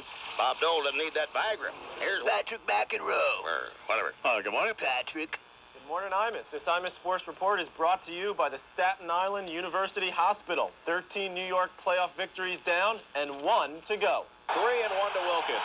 Hampton to the windup. Now the pitch. And a drive in the air to center field. Timo Perez jumps in the air, waiting for it to come down, makes the catch, and the New York Mets are the 2000 National League champions. That was Gary Cohen on WFAN. That's right. The magic number for the first Subway Series in four decades is one, or uno. If Orlando Hernandez can keep his perfect 7-0 postseason record intact against Brooklyn-born John Halama and the Seattle Mariners, then the Yanks will host the Mets on Saturday night at the big ballpark in the Bronx. And that Boston-bred Atlanta carpetbagger, Steak Shapiro, can kiss my you-know-what. The Mets won their fourth National League pennant and their first since 86, joining Florida as the only wild card teams to make the World Series. Before the game, Mike Hampton said he was primed to pitch the game of his life, and that is precisely what Hampton did, limiting the Cardinals to three hits and going the distance. The Mets win it easily 7-0 to wrap up the series in five games. Here is Hampton, voted the MVP of the championship series. It doesn't matter who we play. Doesn't matter who you play. Yeah, right. Of course it matters. And just think about it. I meant earlier this spring, Timo Perez was cut by Hiroshima in the Japanese league. Well, now he's the bomb. And Todd Zeile had a bases clearing triple to give the Amazons a 6 0 lead. He, for one, says, hey, bring on the Yankees. I'm going to root for the Yankees, to be perfectly honest. Um, you know, I don't see any reason to pull punches at this point. I'd love to see a Subway Series. I have unfinished business with the Yankees as far as I'm concerned anyway. They've eliminated me the other three times I've had a chance to be in the postseason. Um, and they've celebrated on what was my home field. Does not want that to happen again, apparently, Mr. Who was that? Zeile. Todd Zeile. Todd Zeile used to play for the Texas Rangers. Yeah, well, Well, there you have get that. used to it. Get ready again for elimination. You know, uh, Celebrating in Shea, too, Bozo. Steak Shapiro called me yesterday off the air, Patrick, Yes. trying to get me to get Lupica to either Lupica or Francesa to appear on on their stupid radio program in Atlanta. Oh man. God, talk about sniveling. I mean, that, honest to God, I mean, that's just. I mean, I mean, is there any end to the embarrassment that this guy is willing to suffer on national radio? I guess not. I mean, I mean, he'll he will go to any length. I know. It's about well, I hung up on him. Well, what? Well, that's a big surprise. Man, I mean, I couldn't. No dignity. No, no dignity. None. You even you even hang up on me every now and then. I mean, what's up with that? Well, the conversation's over. You're annoying. Just done. Just a phone problem, bro. Well, this conversation is not over. No less a baseball authority than George Will, you know, wrote a book, I man, an incredibly tedious one at that, book proclaiming that Tony La Russa is, is a certified genius. Yeah, right. Well, this morning, La Russa is a man out of work for the season at least, and although, unlike my esteemed colleague, Mr. Warner Wolf, we hate to second guess, still in my dreamy ruminations passing the hours between the Fox post-game show and this morning's sportscast, I could not help but wonder why Mark McGwire was not better employed in the pinch. Nor could I help wondering what the genius was thinking when he let Rick Ankiel into the game last night.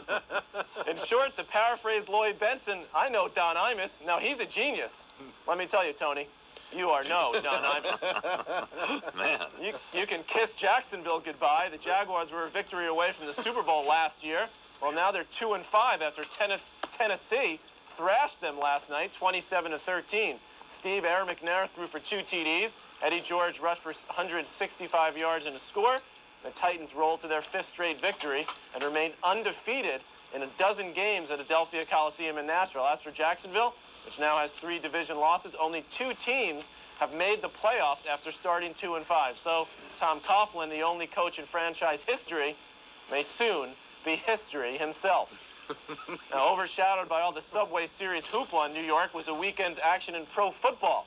New York's two franchises split with their counterparts from New England. The JETS Jets, Jets, Jets put a licking on their former head coach of one hour, Bill Belichick. Somewhere, Bill Parcells to be shortlisted his best Mike Francesa know-it-all smirk as his protege Al Groh donned that hideously tacky gray sweatshirt, and he outcoached his former sideline, sideline colleague. Curtis Martin made New England rule the day they let him slip through the back door. You may recall that Curtis, who scored three TDs, was the player Vinny Testaverde said was the Jets' MVP, not Keyshawn, uh, what's his name? When the latter was fortunately traded to Tampa Bay. Yeah. But the news was not all positive on the New York New England front. The New England Storm of the Women's Professional Football League blanked the New York Galaxy 28 0 in the WPFL opener Saturday night in Buffalo. Worse yet, the Galaxy must now prepare for the Daytona Beach Barracudas, who upset the Miami Fury in the Orange Bowl 34 to 7. Barracudas quarterbacks Shauna Kennelly of UNLV and Case Skydeer combined to hit on 13 of 20 passes for 185 yards and a pair of scores. And lastly, I'm in. Why are we reporting women's football? What's that all about? what's called equal opportunity reporting. You own one of the franchises? Or is this some another McEnroe scam? No, I'm losing enough money in the other one, thank you. well, lastly, I'm in. tonight, of course, is the big one. Yeah. The contest that could, well, reshape history. And certainly all of Washington is talking about it. Yeah. The Capitals host the Colorado Avalanche and Patrick Roy, who is poised to set the record for all-time victories by an NHL goaltender. Waugh is currently tied with Terry Sawchuk at 447 career wins, but needed 122 fewer games to reach that mark. I'm Patrick McEnroe, and that is sports. Imus in the morning. Hi, Grandma. Listen, I'm sorry, but I can't make your party on the 20th. I know it's your... Welcome, Warner. Nice to see you. Good to have you. Very kind of you to stop by. A pleasure. Yes. Thanks again. Good. Thanks for coming by. That'll be fine, David. Uh, good morning, Warner. Good morning, I-Man. The Simus in the Morning Sports Report is brought to you by the Continental Airlines. Get out your tokens and don't sleep in the subway. Take the 7 train to Shea, the 4 train to Yankee Stadium Subway Series. Yankees 6 in the 7th beat Seattle last night 9-7. Take the series 4 games to 2. The big hit, David Justice, the MVP of the series. Two out, three-run homer in the bottom of the 7th to put the Yanks ahead to stay. How long did it take to play that seventh inning? Oh, man. About an hour? It could have been an hour. That game went on for, you know, it's a good point. How can kids ever become oh, interested well, in baseball? The game, I watched the end of it. the game ended after midnight Yeah. Eastern time. Sure. Quarter past midnight. No wonder young kids don't. They can't see it.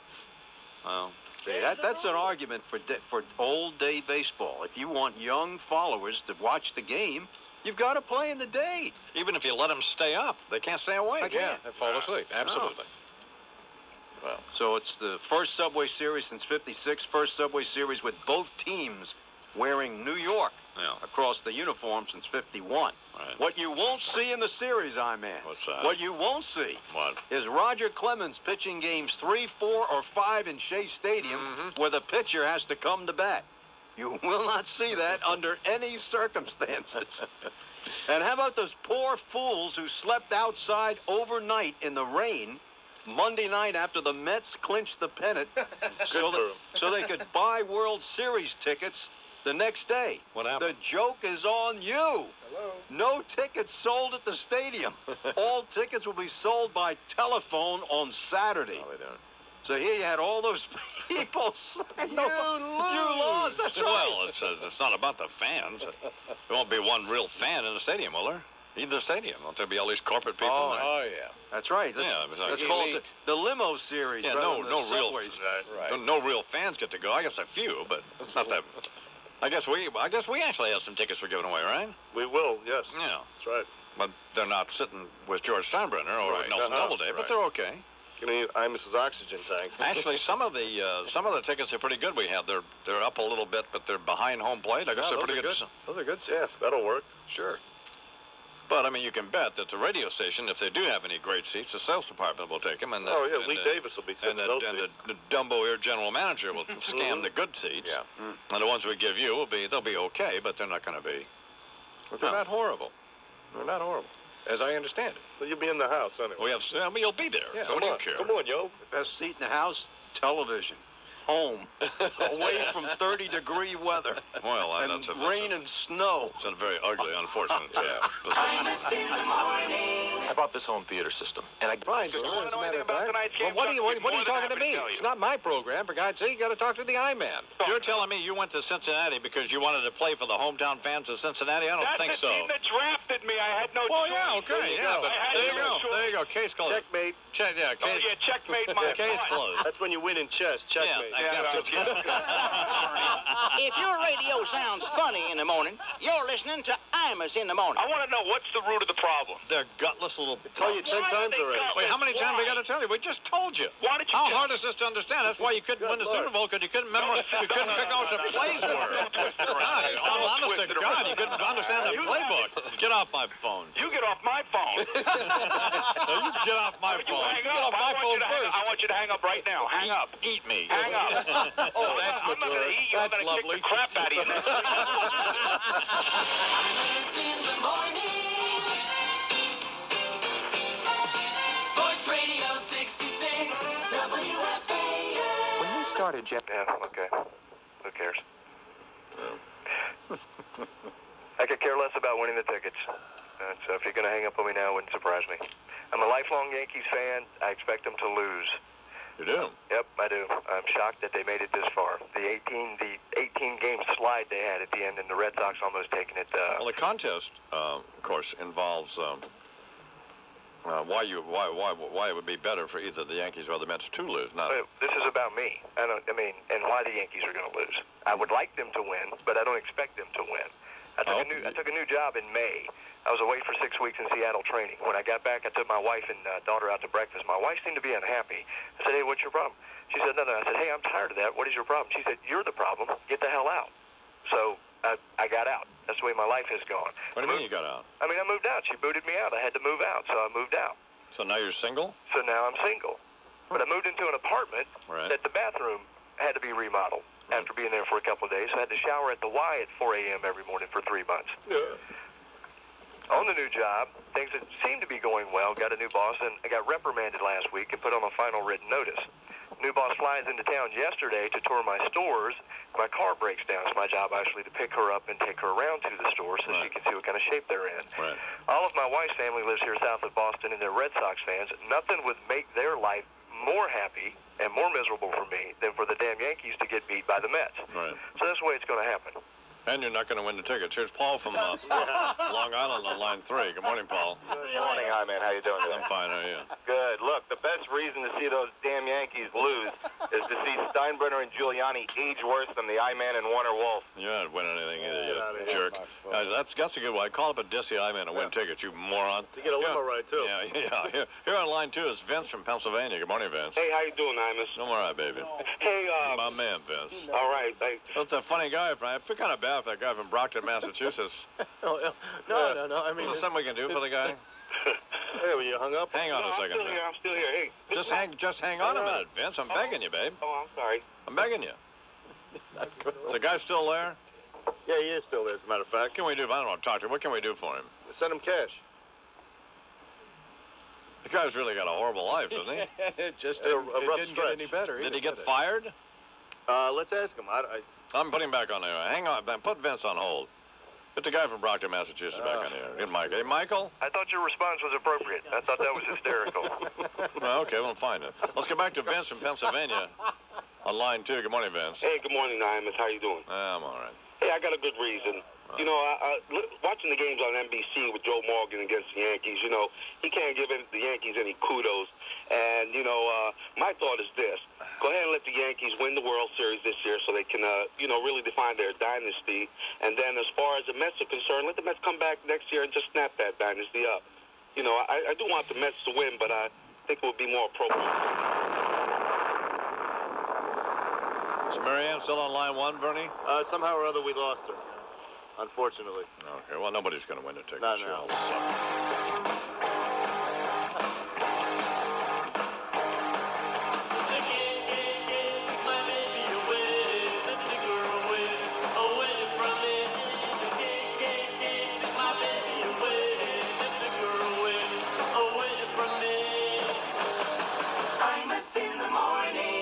Hey, have you seen what's going on in the market? I'll tell you what's going on.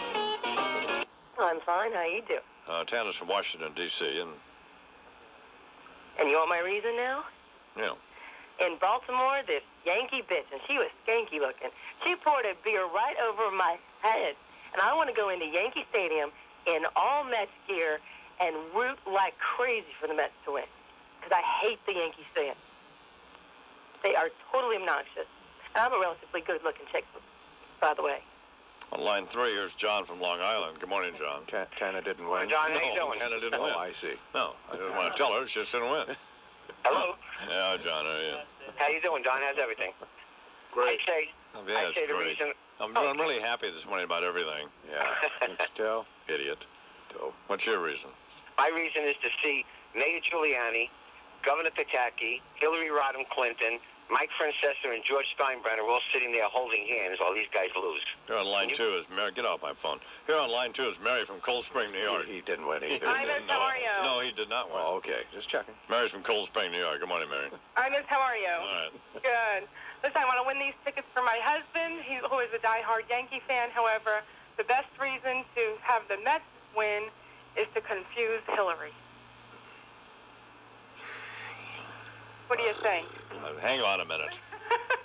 That's pretty weak. Come on. You started with that Yankee hat. Hang on a minute. Wait a minute, Chill out. ma'am. Be quiet.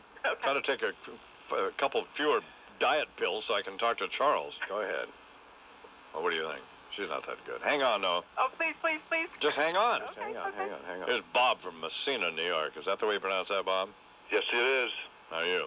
Oh, not bad. Uh, the best reason for the Yankees to lose is to watch George Steinbrenner have a heart attack and watch Joe Torre try to give him mouth to mouth and get his tongue stuck in his throat.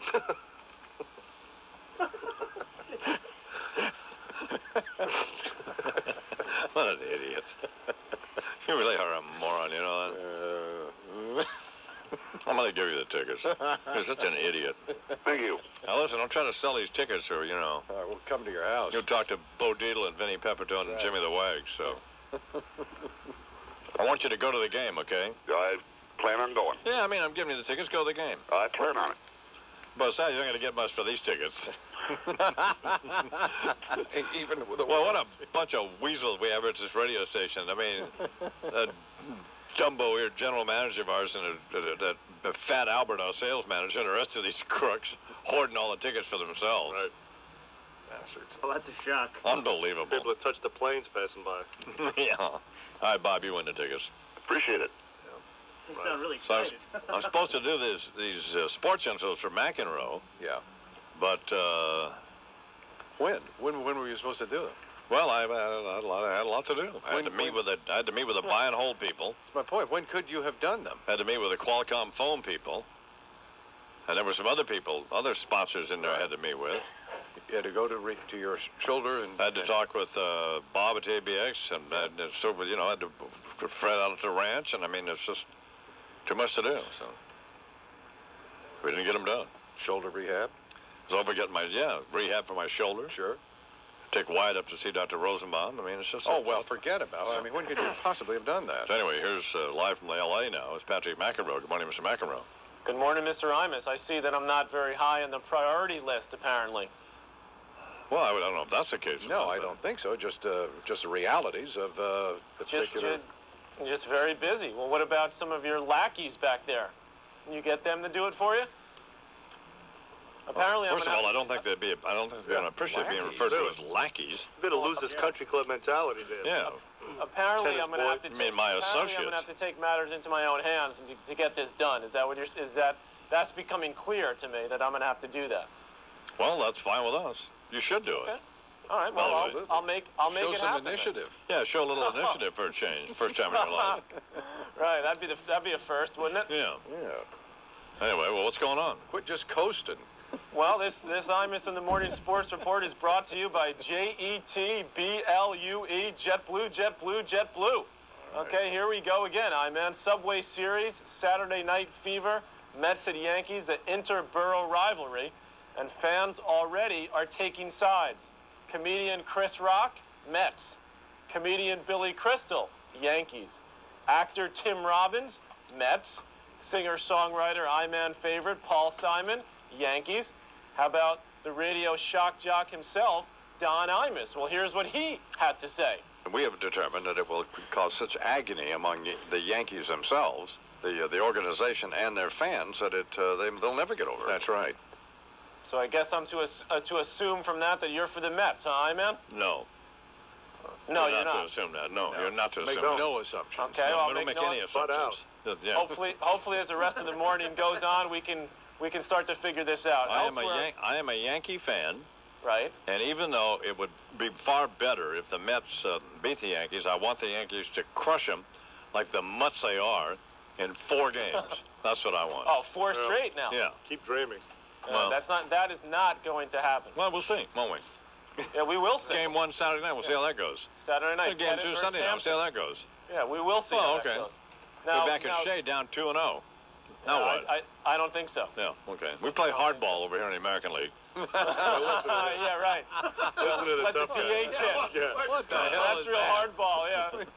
Hardball. Well, thi- this is this is truly dis- this is truly disturbing now. I mean, I don't know if you heard about this, but it's coming out of CBS News.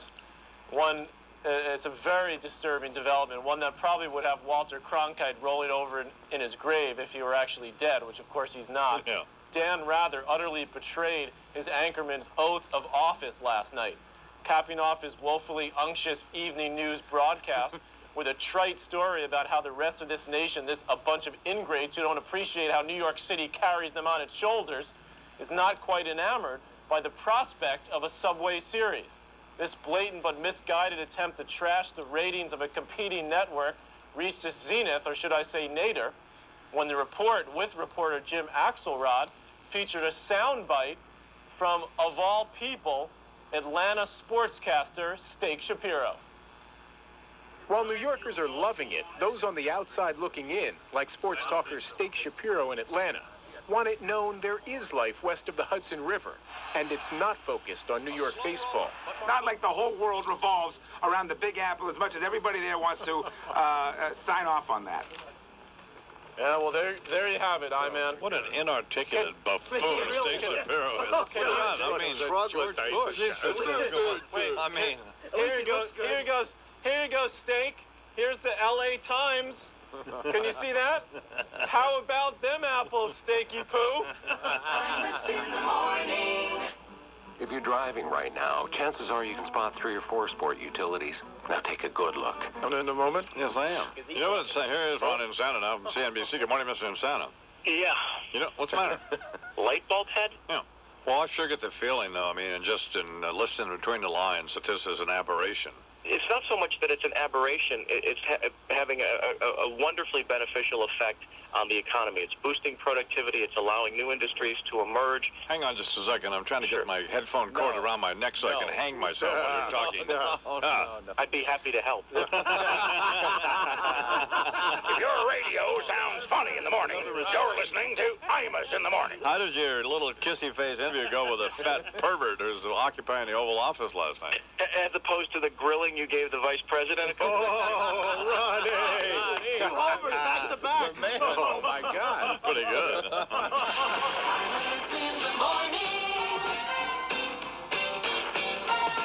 Sports Radio 66, WFAN. When you fly, Suppose. Did you watch any of these debates? Yeah, sure. Loved him. I loved the transformation in Gore. Gore in the first debate looked like a jack-o'-lantern. great. if there's a hurricane in your state, Gore says he flew in with the governor. He got out of the plane and he fed the people whose houses were damaged. He cooked for them and fed for them. Then you find out that he was home watching The Simpsons, and that some of the details were wrong. Not all of them, just some of them. If your radio sounds funny in the morning, you're listening to Imus in the morning. Texas governor went on to say, or at least tried to say, something something else. We got people who perform common, co- common acts of, uh, commonplace miracle, acts of miracle every day. Well, whatever. Yeah. Something. Make the uh, rabbit come out of the hat. Jesus God Almighty. You got to elect this guy. I'm telling you. I'm begging you. I'm begging you. I'm begging you. You got to vote for this guy. Please, please, please. please. I'm begging. I'll do anything.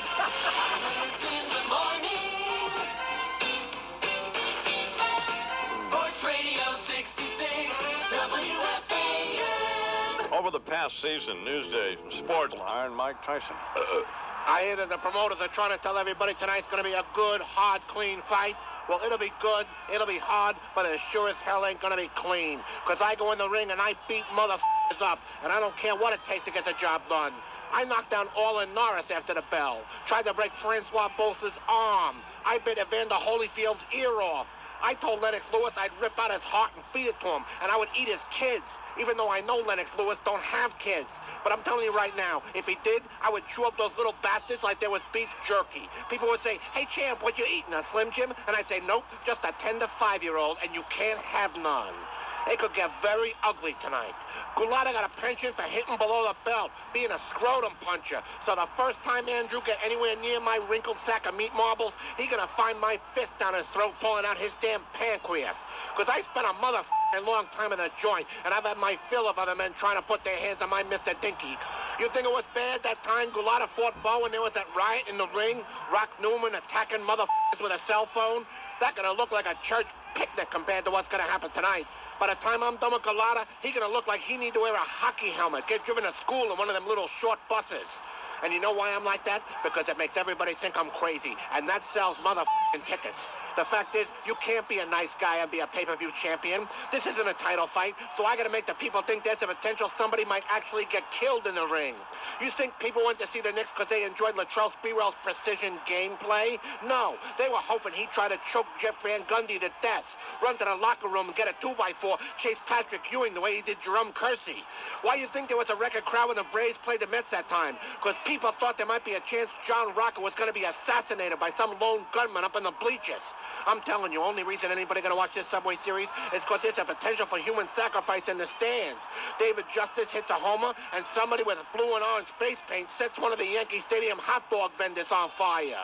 I'm not a rocket scientist. I'm consumed with rage, and I'm addicted to Zoloft.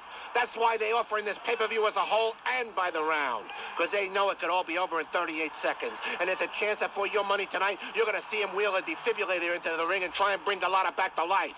But I'm telling you right now, they ain't going to have too much luck with that. Because I'm going to be in my corner with his motherfucking heart in my hands, eating it like an apple. Imus in the morning, 2020 sports. Here's a soundbite for you, Larry. If you were looking for a world-class sportscaster, you lost. Here's Warner Wolf. Uh, good morning, Warner. Good morning, I man. You know the biggest bet in Las Vegas on that fight? No. It's not who will win, who will be disqualified first. There you go. World Series Oh, no. pitching. well, laugh. World Series pitching rotation: Pettitte, Clemens, El Duque, and a pitcher to be named later in Game Four. Probably David Cone. Could be, or Neagle. Leiter, Hampton Reed, and Bobby Jones. The pick? Well, the Yanks had a tough time with the A's in Seattle, right? No. The Mets beat a strong Giant team, and they held the Cardinals hitters, except for that 10-6 game, pretty low. Yeah. But here's the key. The Yanks are going to miss Ramiro Mendoza. Strong factor in 98 and 99. And the Mets are using Glendon Rusch in that same role. Mets, four games to two. Hmm. Wow. NFL in Tampa, Lions broke a 14-14 tie fourth quarter, beat the Bucks 28-14. Tampa's lost four in a row. James Stewart, 116 yards, 29 carries, three touchdowns. Here's my prediction. Yeah. Yankees in four. Four? Four. You mean Leiter and Hampton aren't going to win a game? No. Oh, I don't think so. Well, we'll see, won't we? Yeah, we will. We'll Yeah. see. We'll Well- see, won't we? well, here- see, here- here's yeah, the- I'm man's pick is Yankees four zip. Here's- Yours is uh, Mets four two. Right. Well, we'll see. But you see, I have some leeway. Here's the trouble with your pick. Yeah. As soon as the Mets win one game, you're wrong. Oh, okay, well, you I get lose. four. Okay, then four one. Oh.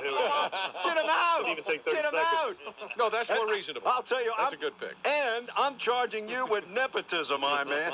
I'm charging you with nepotism. What's the deal? Here it is, right here in the New York News. What What's hap- it say? The picks. 11 and 3, right? Yeah. 11 and 3 last week. Right. So Fred goes on, goes 9 and 5. Right. You said, oh, that's great, Fred. That's great. Separate the men from the boys. Right. You don't say anything about my 11 and 3. No, because Jeep doesn't sponsor your 11 and three. Well, wait, oh, wait, all right. Now wait a minute. Get a sponsor for your picks, and we'll rave about you. Well, wait. The week before, we went we went against each other. Right. Fred goes seven and seven. So, oh, it was a tough week. Right. I go nine and five. Oh. You don't say anything. Oh. No. That's nepotism. Just because I have no brothers or sisters, just because I'm No. an only child. whatever. Come on. No. That's nepotism, my man. Bring some advertising into the radio station, and we'll talk about your stupid picks. Stupid picks. Idiotic picks. Wait first of all, I don't even believe. it. Let me see that. There it is. Well, Eleven and uh, three. what paper is this in? New York News. Daily News. What is it in? Daily News. Oh, they can't be trusted. Mike Lupica's paper. Well, maybe they can be Come trusted. on. Yeah. Lupica. And wait a minute, more nepotism. Last year, at this time, I picked the Jacksonville Jags over the Steelers, twenty Yeah. to six. Right. The score was twenty to six. Right. You didn't say anything. Yeah, we did. All, yeah, all you could say was that's the only time you've ever picked a score over It those. is. Well, let me say this: no one in the oh. history of this station has ever picked one game on the nose on the air. I'm tired of this nepotism. He's got I'm out of here. Primus to the morning oh. sport. This is Warner Wolf. She said, I'm gone hire a wino to decorate our home. This is outrageous. So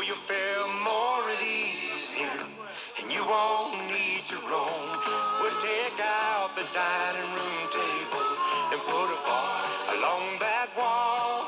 And a neon sign will point the way to our bathroom down the hall.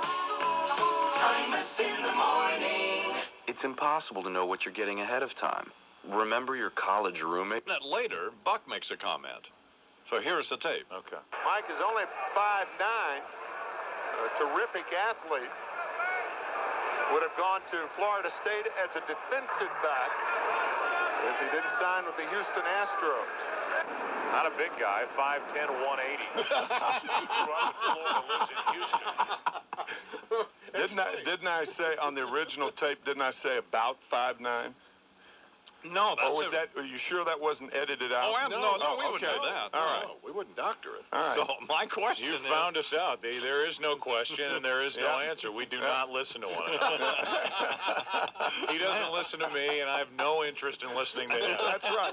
We, we do two separate broadcasts. Did you? Uh, well, when he said that, did It's you? that uh, wall between us that we've had uh, put in the booth. When he said that, did you? Uh, did, uh, were you aware that he said five ten after you said five nine, or you didn't pay attention? Vaguely. Oh, you were. Yeah. Well, why didn't you say But, I, something? I, but uh, that's all part of broadcasting. Get to that coming up. One, two, three.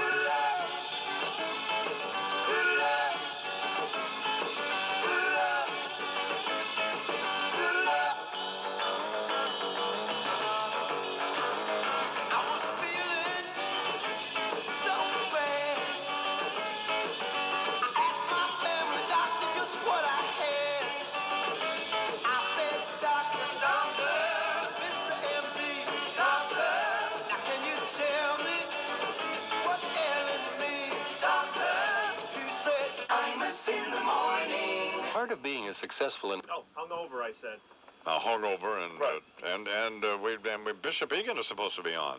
That is correct. And uh, he- in fact, we'll be on next. Yeah, Here on the I'm One program. Damas y caballeros. Ladies and gentlemen, this is Manuel Antonio Noriega, former dictator, once and future in boss. And given the climate of current events, it is urgent that I speak to you about a conflict of biblical proportions. The hostilities that exist between these two factions are legendary, but their all-consuming hatred for each other has finally reached critical mass, and now, more than ever, it threatens the fate of the world as we know it. We are on the eve of destruction. It could very well be Armageddon. Of course, I speak of the age-old rivalry between Mets and Yankees fans. I'm telling you right now, a Subway series will have far more reaching effects than any war in the Middle East. These two groups are like the Palestinians and the Israelites, except the Jews aren't as big a bunch of losers as Mets fans, and the Palestinians actually smell better than Yankees fans. But Bobby Valentine and Joe Torre are the Ehud Barak and Yasser Arafat of New York. And with these two in the World Series, there will be more bloodshed in Queens and the Bronx than on the West Bank and Gaza Strip put together. Because let's face it, New Yorkers are a bunch of dirtbags under normal circumstances. You pit them against one another in the ultimate sports rivalry, you're talking a low-life convention, a festival of heads. And the potential for full-blown violence is higher than they have ever been or ever will be on the Fertile Crescent. There won't be a Pontiac with a Yankee bumper sticker on it in the Shea Stadium parking lot whose tires won't have been slashed by the third innings. And when the Mets visit the house that Ruth built, there won't be enough deep batteries to go around to keep the bleacher creatures ready for every piazza at bat. Omaha Beach will look like a Club Med resort compared to the kind of carnage you will see on every stop of the number seven line. It will be the only World Series in history where the DL list will include spectators. They'll have to use the dugouts for triage. I wish I could be there just so I could get a piece of the box cutter concession. And that's just the fans. You just know the players hate each other and will stoop to any level to ensure a win. I can see it now. Armando Benitez leaves copies of Jugs magazine in the visitors' bullpen so that David Cone blows out his arm spanking his monkey. Derek Jeter is able to get Agbayani out at second by tempting him off the bag with a glazed ham. It just doesn't get any better than this. Together at last, the two most favorite American pastimes, baseball and violence. So arm yourselves, New York, and let the games begin. Nobody wants to play rhythm guitar behind Jesus.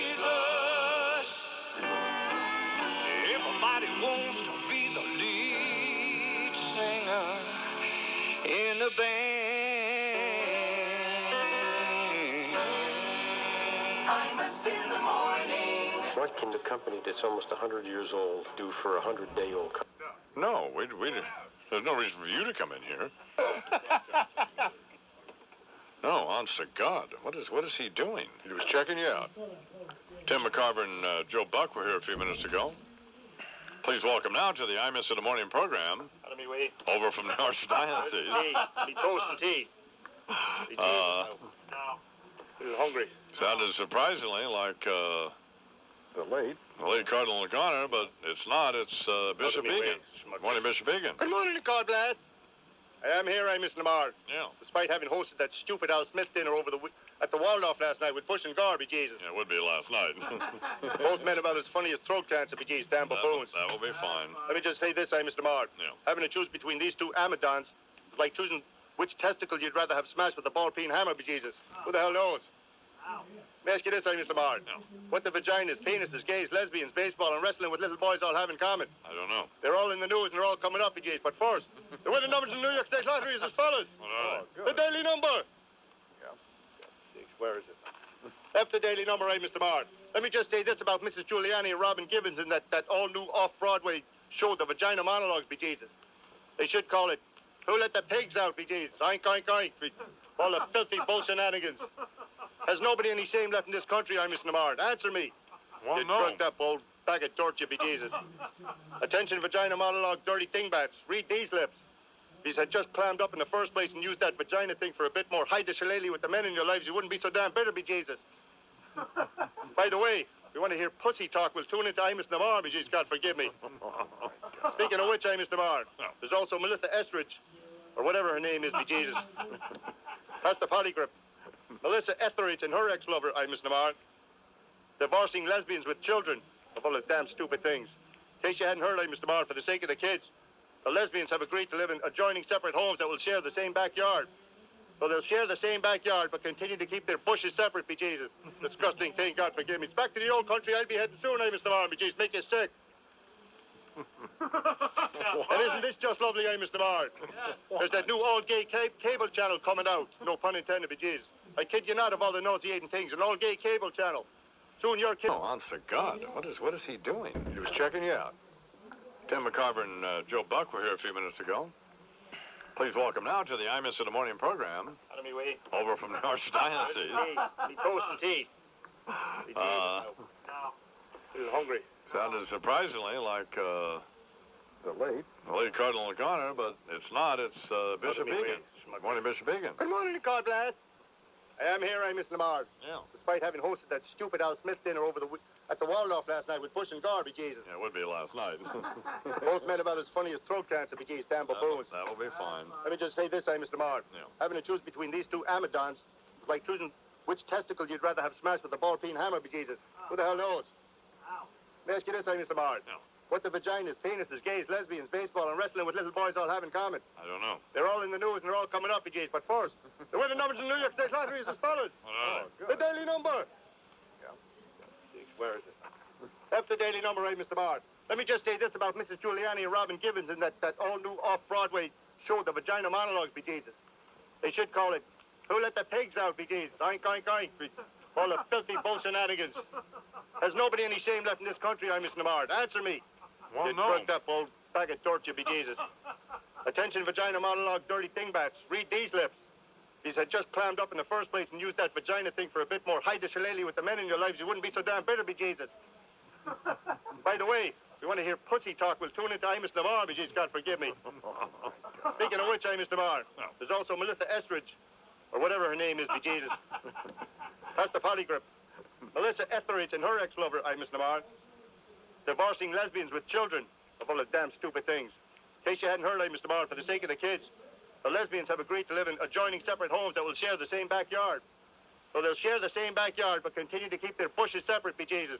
Disgusting thing, God forgive me. It's back to the old country. I'll be heading soon, eh, Mr. Marr, be Jesus. Make you sick. and isn't this just lovely, eh, Mr. Marr? There's that new all-gay ca- cable channel coming out. No pun intended, be Jesus. I kid you not of all the nauseating things. An all-gay cable channel. Soon your kids will be able to tune into Channel 69. The Nickelodeon channel be treated. Be treated on their big screen TV to the sight of a big hairy arse, be Jesus. But what's new? Right now they can see a, a wrinkled up old arse on MSNBC every morning, be Jesus, make you sick. Where's me passport, be Jesus? How long? It gets even sicker. Are you hearing this, McCord? Yes, I'm hearing. Good, then shut your hole, you schmuck, you be Jesus. That will be fine. There's also the zu- zucchini crotch vice president, hi, Mr. Mott. Vice president posing for the cover of a magazine owned by a lowlife who actually left his wife and four kids so he can enjoy poking the hiney of a younger man, be Jesus. Let me just say this about that magazine cover. You can airbrush Gro- Gore's crotch all you like. Yeah. But if you look at the cover of this month's Rolling Stone, you'll still be looking at a major league dick, be Jesus, I tell you that. Smuck you. Talk about double standards, eh, Mr. Lamar? What if we talked about the size of the First Lady's genitals, be Jesus? What? People would flip out, wouldn't they, now, eh, Mr. Lamar? Let me ask you this. How come Hillary Clinton never wears miniskirts? I don't know. Because her damn onions hang down too low, be No, Jesus, I tell you that. fine. Smuck you. No, no, But no, thanks be to God, I, Mr. No. Quiet you, you little punk. I'll come over there and put me boot in your teeth. Thanks be to God, however, eh, Mr. Marn, for the good, clean fun. The good, clean, healthy fun of baseball. The fall classic right here in the Big Apple, eh, Mr. Marn? Where parents can bring the kids to watch drunken hooligans fight over overpaid, crotch-grabbing crybabies, be Jesus. God bless America. In the name of the Father, the Son, and the Holy Ghost. A riot on the field we want the most.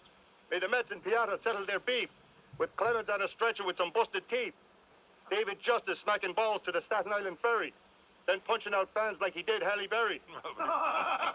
Jorge, Orlando, Edgardo, they'll ignite. Like someone knocked over a Schaefer at a cockfight, be Jesus. Box cutters, deep batteries, mace, and mayhem. We pray for this, Lord. Amen and amen. Let's go, Mets. Bring on the skankies, be Jesus, you bloody heathen heathenges. Will that be concluded? The win four number. Are your marks concluded there? On a Uh, lighter note, hey, Mr. Marr. Yeah. How's the apple of the eye man's eye? How's the wee little fella doing, be Jesus? he's fine. I meant Lupica, you dumb bastard, you be Jesus. Speaking of white Hymus, I, the, the nation's first Viagra baby. They hear that cute story about you wrestling with your son, eh, Mr. Marr? Couldn't help but think it's not the first time the I-man's wrestled with a little boy, you pallid pushed old pedophile, you be Jesus. Which does them belong and why? Oh, I like this part. I Which to does like belong and why? I used to like this when Colonel O'Connor did it. Suck Now- your suckhole. Now I Jesus. like it when you do it. Which does them belong and why? I don't A, know. A, Hillary Clinton. Hillary Clinton. B, Rosie O'Donnell. B, Rosie O'Donnell. C, Imus in the morning. Which oh. does them belong and why? Clearly, C, Imus in the morning. Brilliant choice, you small-minded skunk, you be Jesus. While all three fashionably phony Yankee fans could be in the vagina monologues, and all use a strap-on to satisfy their respective partners, the answer is C, Imus Namar. Imus Namar doesn't belong because, unlike the other two, only the I-man's face looks like a used tea bag, be Jesus. Move along, you smuck you. Vagina monologues indeed. Where's me tea? Mr. B getting here in the Imus in the morning program. Bagses. Go, man, heathens, Jews, all of you. A vile message here this morning. Lord. 26 after the hour. Mm, I get by with a little help from my friends. Oh, gonna try with a little help from my I get high with a little help from my friends. Mm, I get high with a little help from my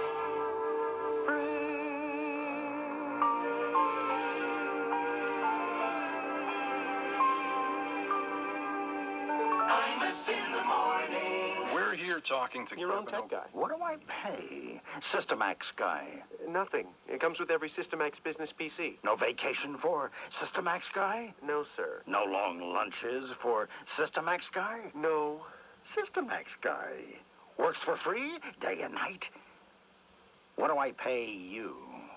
Right now, a Systemax Venture PC with an Intel Pentium 3 processor, 733 megahertz, and CD-ROM is just $799. Systemax business PCs are available through Glo... 13 till the hour.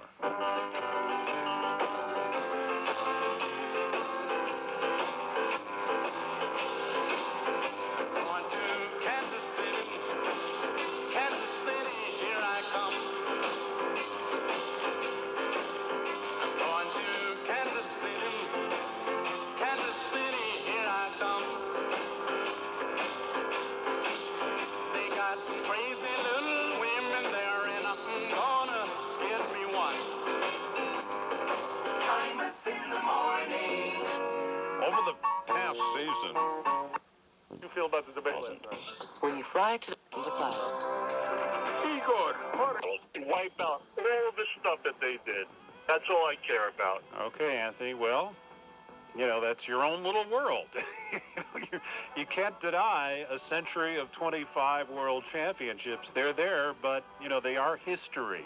And New York is the ultimate what have you done for me lately town. So whoever wins this is going to be riding high. And whoever loses is going to be very disappointed, whether it is the Mets or the Yankees. We'll be right back. Stay with us.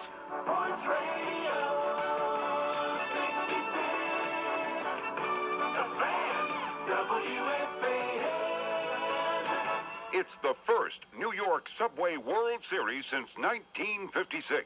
And you can hear it all with Bob Murphy and Gary Cohen as the Mets and Yankees kick it off tonight at 7:10 from Yankee Stadium here on the Fan, Sports Radio 66, WFAN New York, an Infinity Broadcasting station. WFAN 2020 Sports. Good morning at 8 o'clock. This is Rich Ackerman. This is Rich Ackerman with 2020 Sports on WFAN, the flagship station of the New York Mets, and your home for the Subway Series beginning What is tonight. your favorite sound of fall?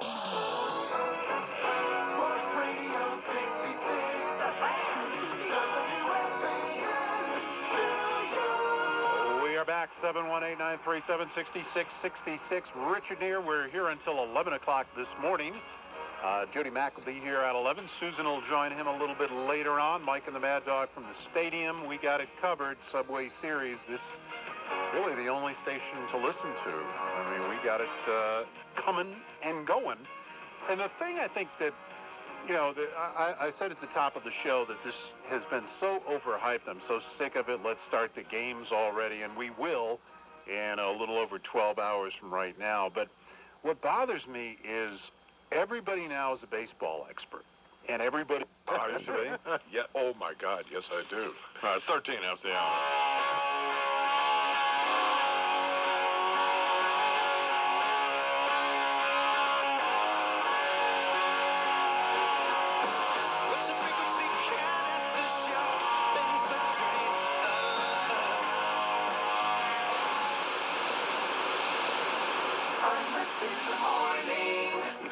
Work at something that you love, Hour here on the Imus of the Morning program. Dan Rather, Tim McCarver, Joe Buck, Terry Bradshaw, and Fred Imus are all coming up. Bernard is in Philadelphia, and so is Stefan Dweck and Monteria Ivy. Good morning, Bernard. We're here at the Republican National Convention. And of course, last night I happened to be at the uh, convention with the camera crew. I harassed celebrity journalists, delegates, volunteers. Uh, I also ran into Governor Christine Todd Whitman. You know how intense the security was at the Republican National Convention all week. And we found out that she did frisk Colin Powell the night he arrived to get his speech. She actually patted the brother down. Your radio sounds funny in the morning. You're listening to Imus in the morning. Plus, we ran up from behind to who I thought was Rush Limbaugh, but who turned out to be Maria Shriver. so, uh, assalamu alaikum, my brothers, two angry brothers here today. The big issue here in Philadelphia today is not George Bush. It's not about his speech tonight. The big question is, why was Bernard McGuirk late this morning? We believe that he was with a Philadelphia Republican convention hooker last night. Of course. Don't lie. We heard she was real cheap. In fact, she was so cheap. She had a vibrator with a meter. Oh. in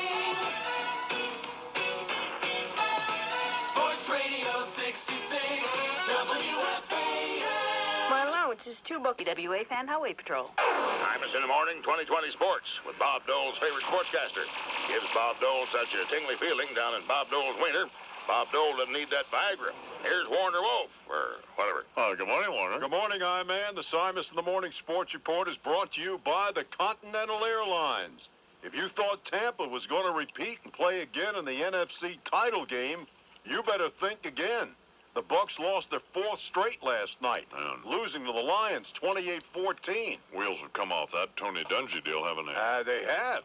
Lions now 5 and 2, intercepted Shaun King three times. Here's Keyshawn Johnson, who thought he was getting a great deal going from the 5 and 1 Jets to the now 3 and 4 Buccaneers. Before, when we were winning and we're three and zero, we didn't do that.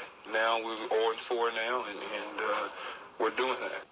And they put a hit on Keyshawn, knocked his helmet about 10 feet in the air. Boom. Loudmouth. He thought he was he thought he was still playing for the Jets. Give me the damn smelling salts. Me, Sean. Now here's a here's a scoop for for uh, Fred. Hi, man. Although I'm I'm still accusing you of nepotism. Shut up. You give me no breaks. Give me no money. No. Well, wait. What is that? That's an excuse. You got to contribute. Yeah, there's, you contribute to the bottom line here. The bottom line is You're getting a free ride. We're tired of it. Wait a Wasn't minute. Sponsored for your stupid football picks. Two weeks ago, you put Fred and myself on together. Right. Fred goes seven and seven. I go nine and 5. Fred was sponsored by Jeep, I might point Yeah, out. but so you what? were sponsored by nobody. Yeah, but my nine and five was a little better than his seven and seven. Your You- nine and five was just very What? suspect. We don't remember you. Suspect? You never Yeah, picked any games on this show. Yeah, you never. This is outrageous. You never even put me on back. We don't. We it. don't. We don't have any evidence of you picking these games, do yes, we, Charles? we do, because you wrote them down. I wrote nothing down. You We're going to write them down this week. I'll tell you that. Oh, All right. Oh, you gonna We- What do you mean? You go get, go See, get Mercedes to come in here. No, get man, Mercedes to put up some money. That's nepotism. Yeah, hell, that's what that is. Just because I'm an only child, I have no bro. You see, that's a weak excuse. Come on, I man, that's covering up for Fred. Oh, Fred would up. want me to go against him. Fred does not want you. Fred He- does I not like you. guarantee, He, he's- he says separate the men from the boys. So last week I go 11 and three. He goes. Well, and I'll five. tell you what. Yeah. We'll put you and Fred on together. Let you let you and Fred argue about. That's what we'll do. That's fair enough. So you you you you you you you Fair you- enough. You, Fair you, enough. You, you, you, be ready Yeah. shortly after eight o'clock Eastern time. You're a fair man, All I right, man. we'll That's have what you- I always said. Who's on the eight o'clock hour? Tim. McCarver and Joe Buck. They'll be on. Well, we can put dispense with them pretty easily. Sure. So. Well, here's I expect a lot out of either one of them. By the way, apparently. McCarver, according to page six, this morning has been a little grumpy. Yeah, beating people up in restaurants. beating people up in restaurants and cuffing fans around, Right. shoving people out of the way to That's right.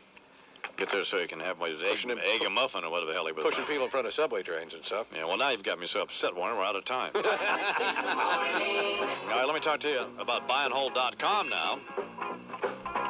With these people the other day. He doesn't want to play. Fred hung up. Right, on. Well, we'll see if we can get all the way. Shore, all it glitters is gold, and she's buying the stairway to heaven. When she gets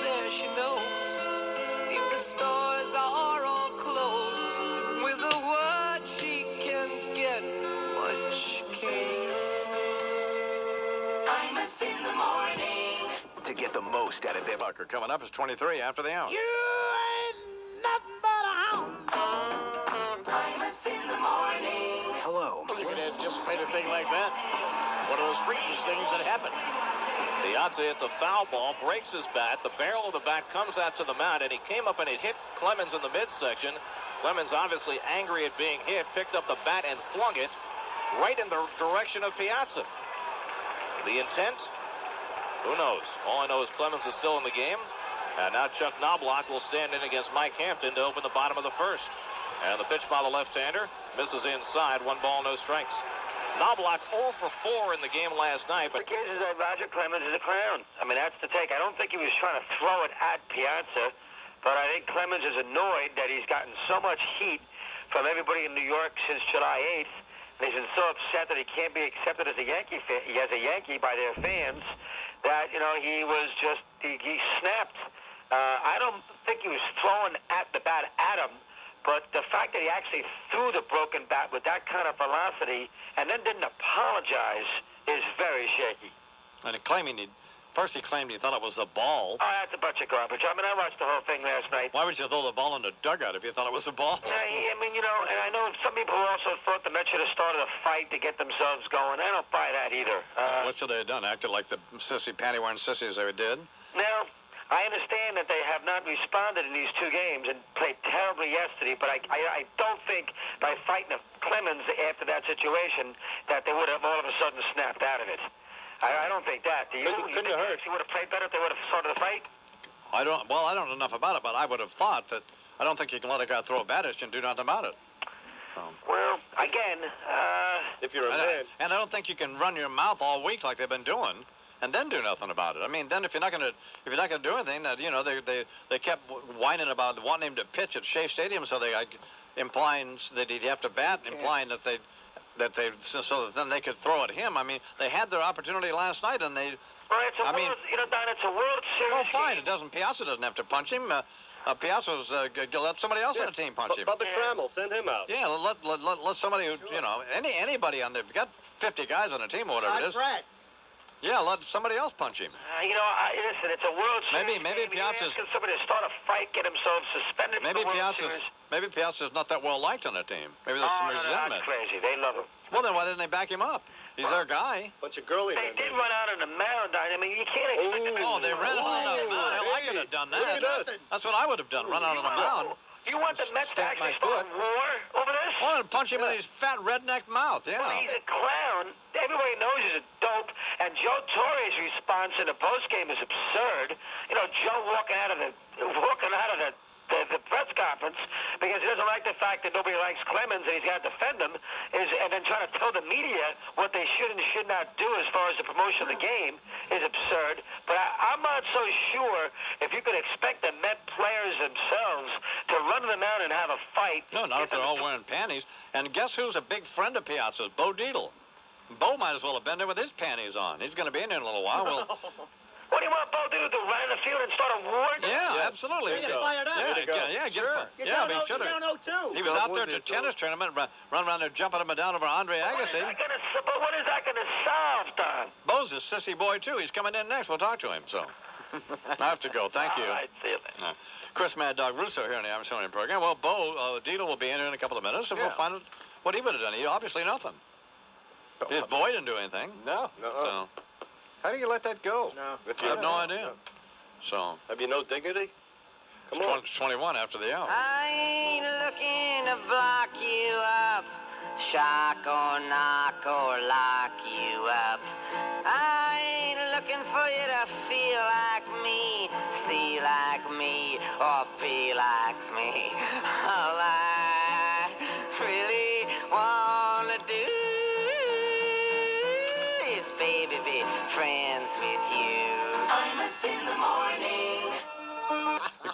How many sets have we done?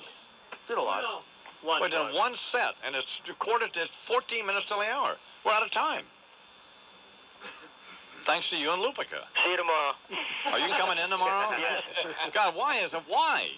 Why are you coming in? I miss you, you big lug.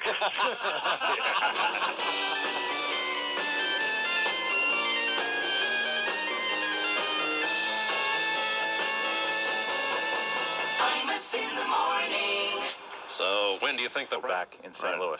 Do you have any advice? Is to- is he that kind of dad, or? He's the kind of dad that I'll call after a big game. I called him after the 96 World Series, and I'm doing this emotional little send-off at the end, and I'm thinking of him, and I'm starting to tear up, and I call him after the game, and, hello? Hey, what'd you think of that? What do you think of what? what'd you think of the game? What time's that on? Thanks, Dad. Is Mom there? Let me see how I did. If your radio sounds funny in the morning, you're listening to Imus in the morning. Mike is only 5'9", a terrific athlete. Would have gone to Florida State as a defensive back. Not a big guy, 5'10", 180. Grew up in Florida, lives in Houston. Are you sure that wasn't edited out? Oh, I'm- no, no, we oh, would okay. know that. All right. No. You found us out. They- There is no question and there is no Yeah. answer. We do Yeah. Not listen to one another. in the morning. Sports Radio 66, WFAN. I've read. It's not in your mouth, Patrick. You could bite somebody. Ah. Good morning. Patrick. Good morning, I-Man. J-E-T-S, Jets, Jets, Jets. First place, baby. 1.20 a.m. Eastern Time, John Hall with the winning field goal in OT. The ball game on the line for the Jets. Snap back, it's down, it's up, it's on its way. Long enough, high enough. It's good, and the Jets win in overtime. Joel Meyers on Westwood 1. Good to hear that those guys had it right. Apparently, the other guys at ABC were just a little bit off track.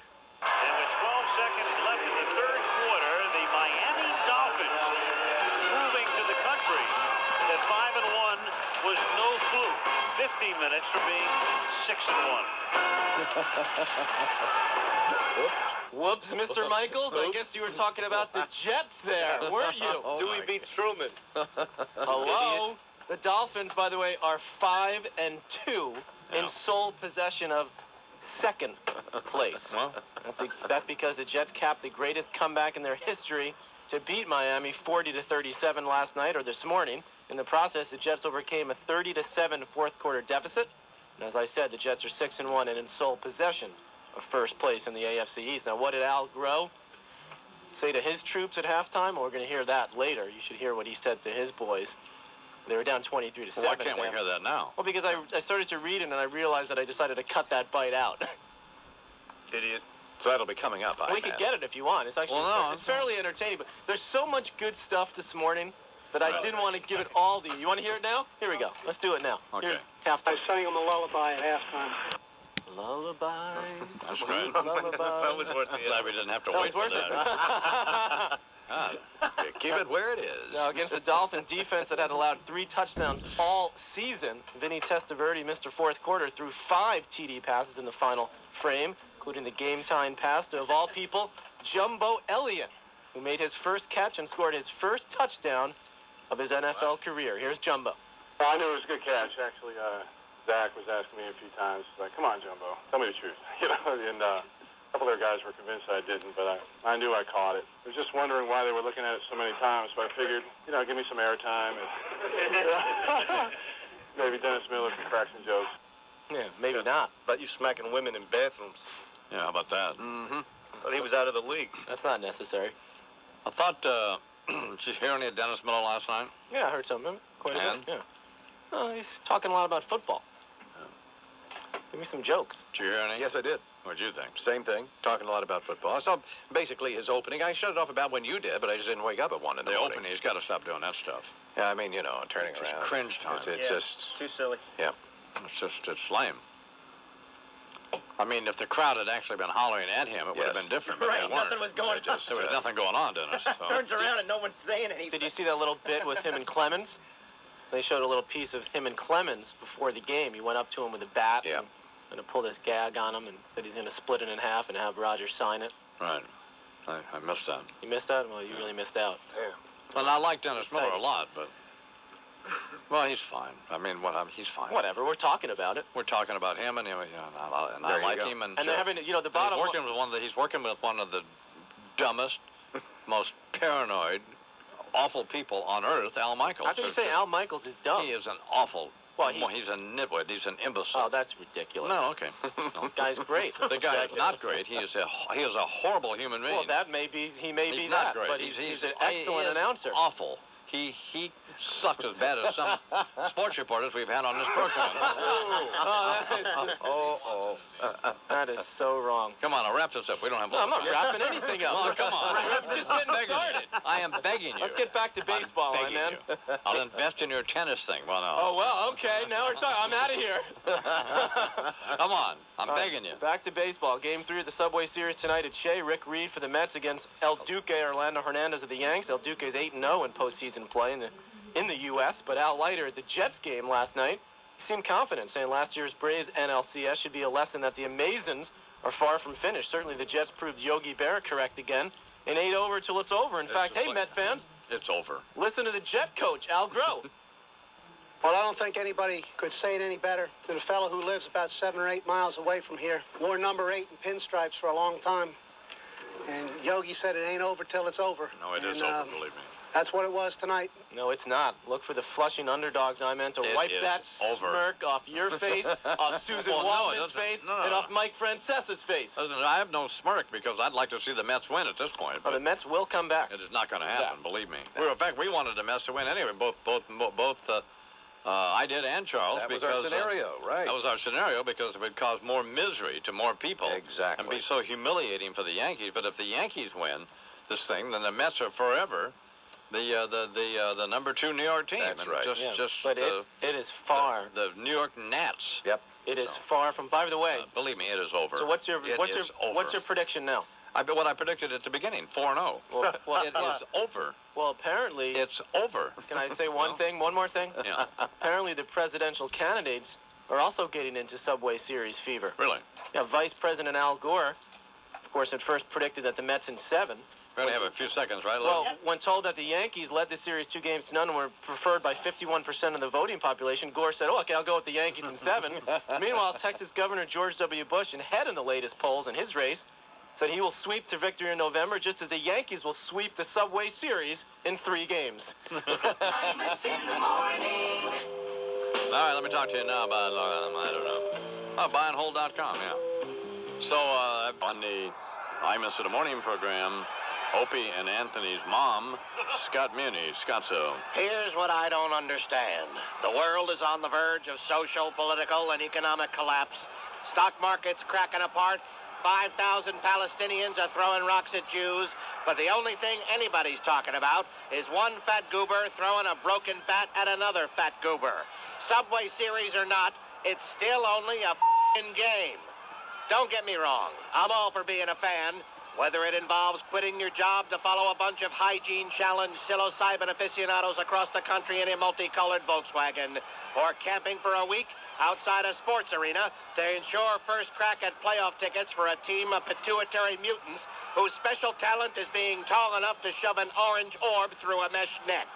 But all too often, the noble loyalty and healthy enthusiasm steps over the line and enters the realm of the dangerously mentally unstable. Fan is, after all, the root of the word fanatic. And although I think it's fine to emulate heroes, whether they be base player or base runner, if your all-consuming passion involves you wearing Gene Simmons whiteface or covering your naked beer belly in orange and blue paint, it's time for the concession stands to start selling Ritalin along with the T-shirts. In theory, there really is no difference between the most ardent supporter of Roger Clemens and that of John Lennon, except that I don't believe you'd find any Yankee groupie in the stands holding a copy of Catcher in the Rye, even if only for the fact that they don't know how to read. Now, I'm not suggesting that target practice takes place simultaneously with batting practice, but is there any reason why fans have to act like such colossal holes? First of all, why do these idiots feel it necessary to attend games dressed like the players? Like when the proctologist from Forest Hills wears his tennis whites to the U.S. Open. What's that about? So if Pete Sampras happens to sprain an ankle, they'll know who to go to when they scan the stands looking for someone to finish the match? It's one thing for a nine-year-old kid to wear a Mike Piazza jersey. It's quite another for some Alzheimer's ravaged geezer to show up in antique pinstripe regalia. The camera pans to him in the stands, and I think somebody went and dug up Joe DiMaggio. A teenage girl dressed like Madonna or Britney Spears at a concert is cute. But a grown man willing to be seen in public wearing an authentic Derek Jeter costume is just pathetic. The guy inside the lime green shag rug animal mascot costume has made a career choice. They're paying him to leave his self-esteem at the gate and jump around like some cranked up ADD suffering cheerleader. But I'm sick of that old lady doing the offensive offsides hand jive in the field box behind home plate. I'm tired of the morons with the banners and signs. You think anybody in the Mets bullpen is going to find any spiritual inspiration in some misspelled handwritten piece of oak tag up in the nosebleed seats that reads, I believe in miracles? If you're that desperate to draw attention to yourself, you'll have better luck falling off the top of the bleachers into the parking lot. I don't think that when Freddie Mercury wrote We Will Rock You, he ever dreamed that it would end up as the drunken anthem for every third-rate sports team in the free world. But for better or worse, that's his legacy. Enjoy rooting for your respective team's victory, folks, but take it down a few notches, will ya? And for those of you waving those giant-sized foam we are number one fingers, I got a finger for you. Take it and shove it up your ass. We're talking with Mike Francesa. Turner comes in yesterday and says, hey, how about you and Dog and the Imus crew go to Atlanta to visit Steak Shapiro. I said, I'm going back on vacation, okay? I don't want to be in a plane with you, dog, or go visit Steak Shapiro ever. If your radio sounds funny in the morning, you're listening to Imus in the morning. And I saw you yesterday, and it was scary. I walked in, I saw Larry. He looked okay. I saw Rob. We'll let that go. And then I walked in and I saw you, and it was like a feeble presence in the corner. I just had to pick you up and hug you. I thought maybe this is the last time I'd ever see you. well, I mean, geez, we got one of Jerry's kids back there.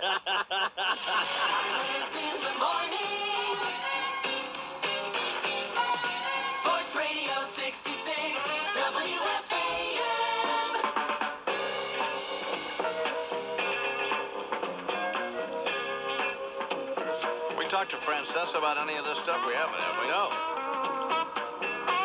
Been up late, huh? Swan a wolf. Give the damn scald walk. Good morning, Warner. Good morning, I-Man. If you took the Yankees and thought they would sweep the Mets, you, You lost. the Mets, two in the eight, beat the Yanks 4-2. Yanks lead two games to one. Benny Agbayani doubled in the go-ahead run off El Duque Hernandez to make it 3-2, and then Bubba Trammell, pinch hit, sacrifice fly, made it 4-2. El Duque seven in the third, nine hits, four runs, struck out 12, his first playoff loss. Rick Reed went six, six hits, two runs, struck out eight. Franco, the winner in relief. Armando Benitez, who blew game one, got the save. Here's WFAN's Bob Murphy on the last out of the game. Here's the pitch. High pop fly. The game should be over. Alfonzo is shallow right field under it. Makes the catch. Mets win. The Mets win. He's Bernie Williams, by the way, now Oh, wait, wait a minute. Hold Time on. out. Time out. Hold It's on. so fast, little No, shrimp. no, no, no. Hold on. No, well, I don't know how. Is that you back in the production studio again? No, that, that was Murphy's voice changing, I think. We should, you should have had it. I mean, really, you got to tell Joe he's got to be barred from that. I mean, it just is so lame. It, it makes my skin crawl. It's like letting Imus in a bar. God Don't almighty. belong there. Bernie Okay. Williams, by the way, now 0 for 11 in this series. He's not getting it done. 0 for 11. Good Anyone could be 0 for 11. Vanessa Williams. Right? Yes. Anyone. 0 for 11. Tonight, left-hander Denny Neagle against right-hander Bobby Jones. First pitch, 8.20. The last pitch, 12.20. You don't think that was funny? In other words, these games are going for it. Who watches the ends of the game? No, it was not funny. Huh? No, not only was it not I'm funny, saying- but you mean you don't go on about it. I'm saying I mean, we weren't falling down screaming. With the, What tipped you off? God, yeah, what was the first indication you had that we thought that we were Wait a minute. begging you just to move on here? God I almighty. mean, you know, they post the time. we don't care. There must be a We do not care. Well, I'm, I'm, I'm oh, making. I get up at 4.30 in the morning and I watch the end of it. We don't care. Take a nap. What I'm saying. Get some rest. It's a satire. Oh, okay. They post the starting time of the game. I'm saying post the end of the game. Not a bad idea, actually. You know, I'll tell you How is what. that a good idea? I don't know. Yeah. Just trying No, to don't move encourage forward. him. Trying God. to move forward. Moving forward. Just say, just move on All right, here. now you're having uh, Tim McCarver on this morning? Yeah. Well, here's McCarver and, and Joe Buck in last night's game. Game two, two nights ago, a ninth inning two-run home run off the fair pole or foul pole, whatever you want to call it. Either one. Let's see that? That's it. World Series, national TV. It is once and for all the fair pole. Oh, God, shut up. I up. rest my case. Well, we don't want you to make your case. It's, it's tedious. No case to rest. Case God. closed. Case closed. Okay, I agree. God. Now here's the deal. You want insight in this series? No. If Todd Zeile's ball, Todd don't Zeile, want if it goes one inch farther Want in the game, ball hit you in the head. if Todd Zeile's ball goes one inch farther in game one, Right. and one inch farther in game oh, two, well, this is stupid. what? One inch. We're talking about one man hitting This is two. stupid. This is stupid. Well, go ahead. Well, the point is the Mets would lead. Well, they don't, though, do they? No, but no, it's a game of inches, isn't it? Yeah, but It is. Yeah, but that's It that's is. usually a cliche, but it's not in this point. No. The Mets could lead three none or two one. But they don't, do they? No. No. No. For throwing half of Mike Piazza's bat in Game 2, Roger Clemens fined $50,000 by the Commissioner's Office for inappropriate conduct. What they're really saying is we're not going to suspend you, but here's a little slap on your wrist and we're off the hook. If you thought Eagle fans were on a high after beating the Bears Sunday, there was good reason. At Sunday's game, Philadelphia police seized $25,000 worth of laughing gas. Vendors were selling balloons full of nitrous oxide at $5 a balloon. Police say inhaling the gas is getting more popular at Eagle games. Jesus. And finally, not everyone watched Monday night's comeback by the Jets. The game, which didn't end until 1.15 in the morning, dropped off 20% from Game 8 last year. For the season, Monday Night Football, despite good games, is down 7% from last year. Hmm. Monday Night Football, not making it. It's a very ugly thing, Warner. God, I'm telling you. And finally, I'm going to jab him in the ear with my pen. Wait a minute. Wait a minute. Well, here now here's a serious story. According to the Sporting News, Celtics coach Rick Pitino has contacted Indiana University Right. about coaching the Hoosiers next year. Right. Pitino is entering his fourth year as president and coach of the Celtics Right. and has taken the Celtics nowhere. Right. Nowhere. Yeah. For Imus in the morning Jonathan. sports, this is Warner Ladies and gentlemen, it's me again, Generalissimo Manuel Antonio Noriega. And I don't know about you, but I'm getting more and more excited about this fall classic. I thought the Subway Series thing had the potential to be the most violent sporting event since cockfighting, but I never expected it to get so good so fast. Not even two games in, and Roger Clemens decides he's gonna go medieval on Mike Piazza's ass and go jousting with a bat splinter. I mean, this is the kind of behavior you expect from the Yankee fans. Not their starting pitcher. Mikey breaks the bat, and the Rocket flings the jagged end at him like he's trying out for the Olympic javelin team. You go, boy. It just doesn't get any better than this. Because in addition to the fact that neither one of these two assholes is going to be bringing the potato salad to the Mensa picnic anytime soon, you haven't seen two egomaniacs hate each other with this kind of bitter acrimony since Giuliani was still running against Hillary. As far as Clemens is concerned, he's the pitcher and Piazza will always be the catcher. In every sense of that designation, including the prison slang definition. In fact, given his obvious loathing for Piazza, I'm surprised Clemens didn't try to shove the bat up Mikey's home dugout, if you know what I mean. So I have to admit that when the Rocket spear chugged the Louisville Slugger at Pizza Boy and a riot didn't break out, I was a little disappointed. I was hoping the dramatic tension was going to erupt into some kind of ballpark version of Mortal Kombat, with the two of them going at each other with bat shards like they were Roman gladiators. At first, I wondered why Mikey didn't go after Roger, but then when he didn't, I couldn't understand why his teammates didn't come out to get some revenge. And then I realized the Mets hate Piazza almost as much as Clemens does. The best part was the excuse. Clemens say he was confused and thought the piece of bat was actually the ball. Roger, I know you from Texas, so I'll give you the confused part. But even the most insufferable moron in Dallas knows the difference between a baseball and a pointed stick.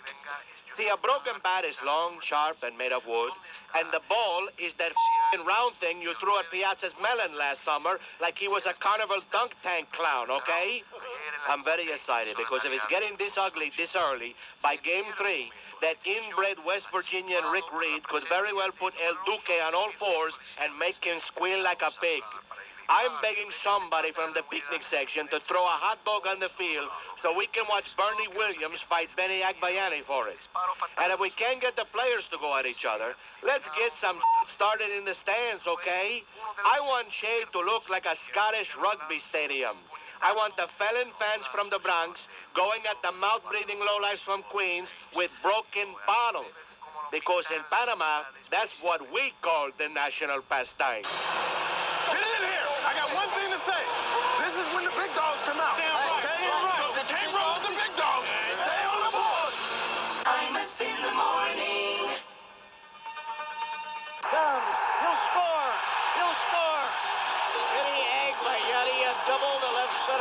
the pitch. High pop fly. The game should be over. Alfonzo is shallow right field under it. Makes the catch. The Mets have won the ball game. The Mets have won the ball game.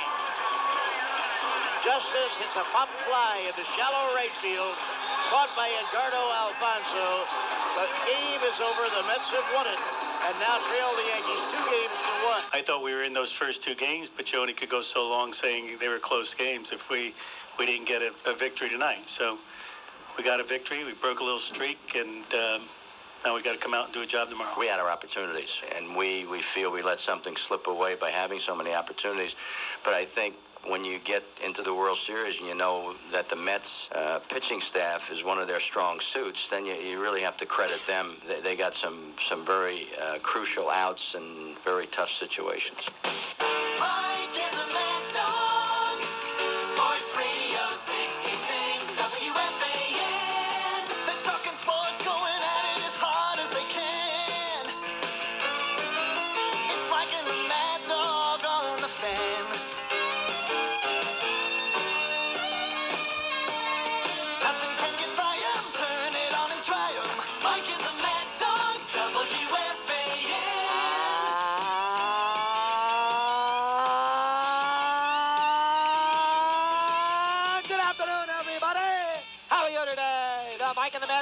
Radio program. Nice to have you with us on this 25th day of October, the year 2000. As we talk about this World Series, it has a little juice in it.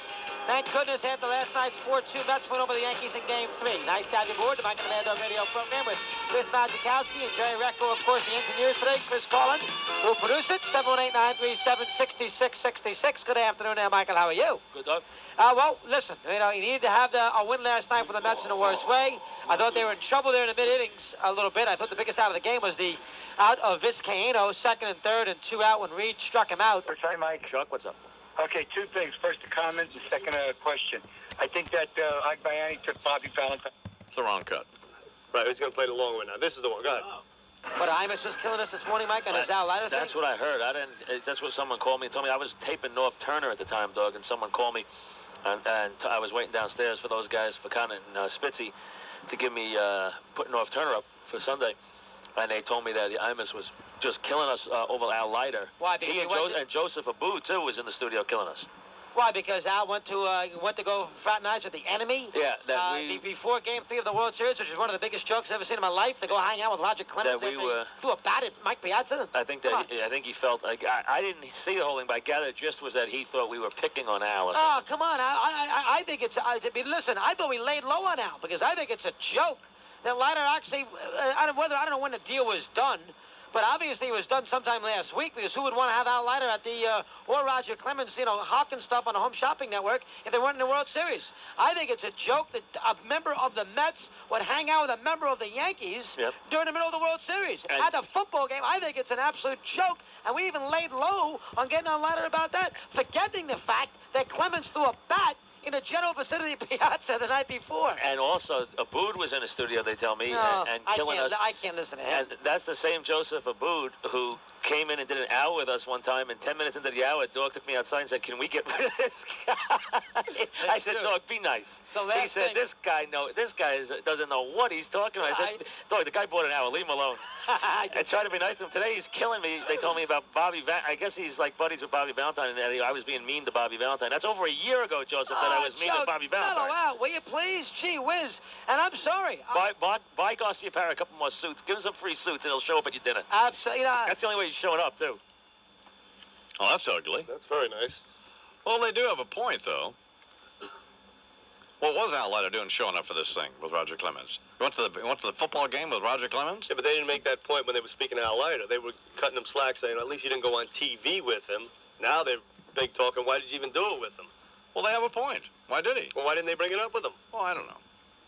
Yeah, they, why didn't they make that case clear? And they are right about Abood. I mean, I love Joseph Abood to death, and you know he's he's he's he's a well, you know he's a corporate sponsor of the Imus Ranch. Obviously, I would love somebody who puts up a quarter of a million dollars, but I mean, he just he he just is he's got he's got a he doesn't know when to leave. He's he's a dinner guest from hell.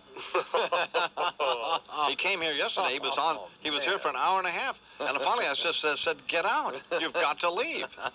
We had to tell him Ricky Martin was up in security. I mean, he's unbelievable.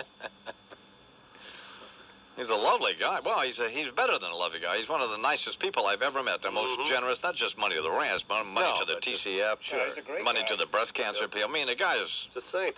But he he really is. He's almost like a David Juris type. I mean, Dave, he's mm-hmm. not quite, but I mean, he's very close. He'll bend over backwards for you. Yes, but uh, I love you, Joe. but he's but he he doesn't get it either. Remember that painting he had done of me with the oh, oh God Almighty, that was embarrassing. Hmm. So, well, whatever. I didn't hear it. Uh, I was talking to him yesterday about these these decorators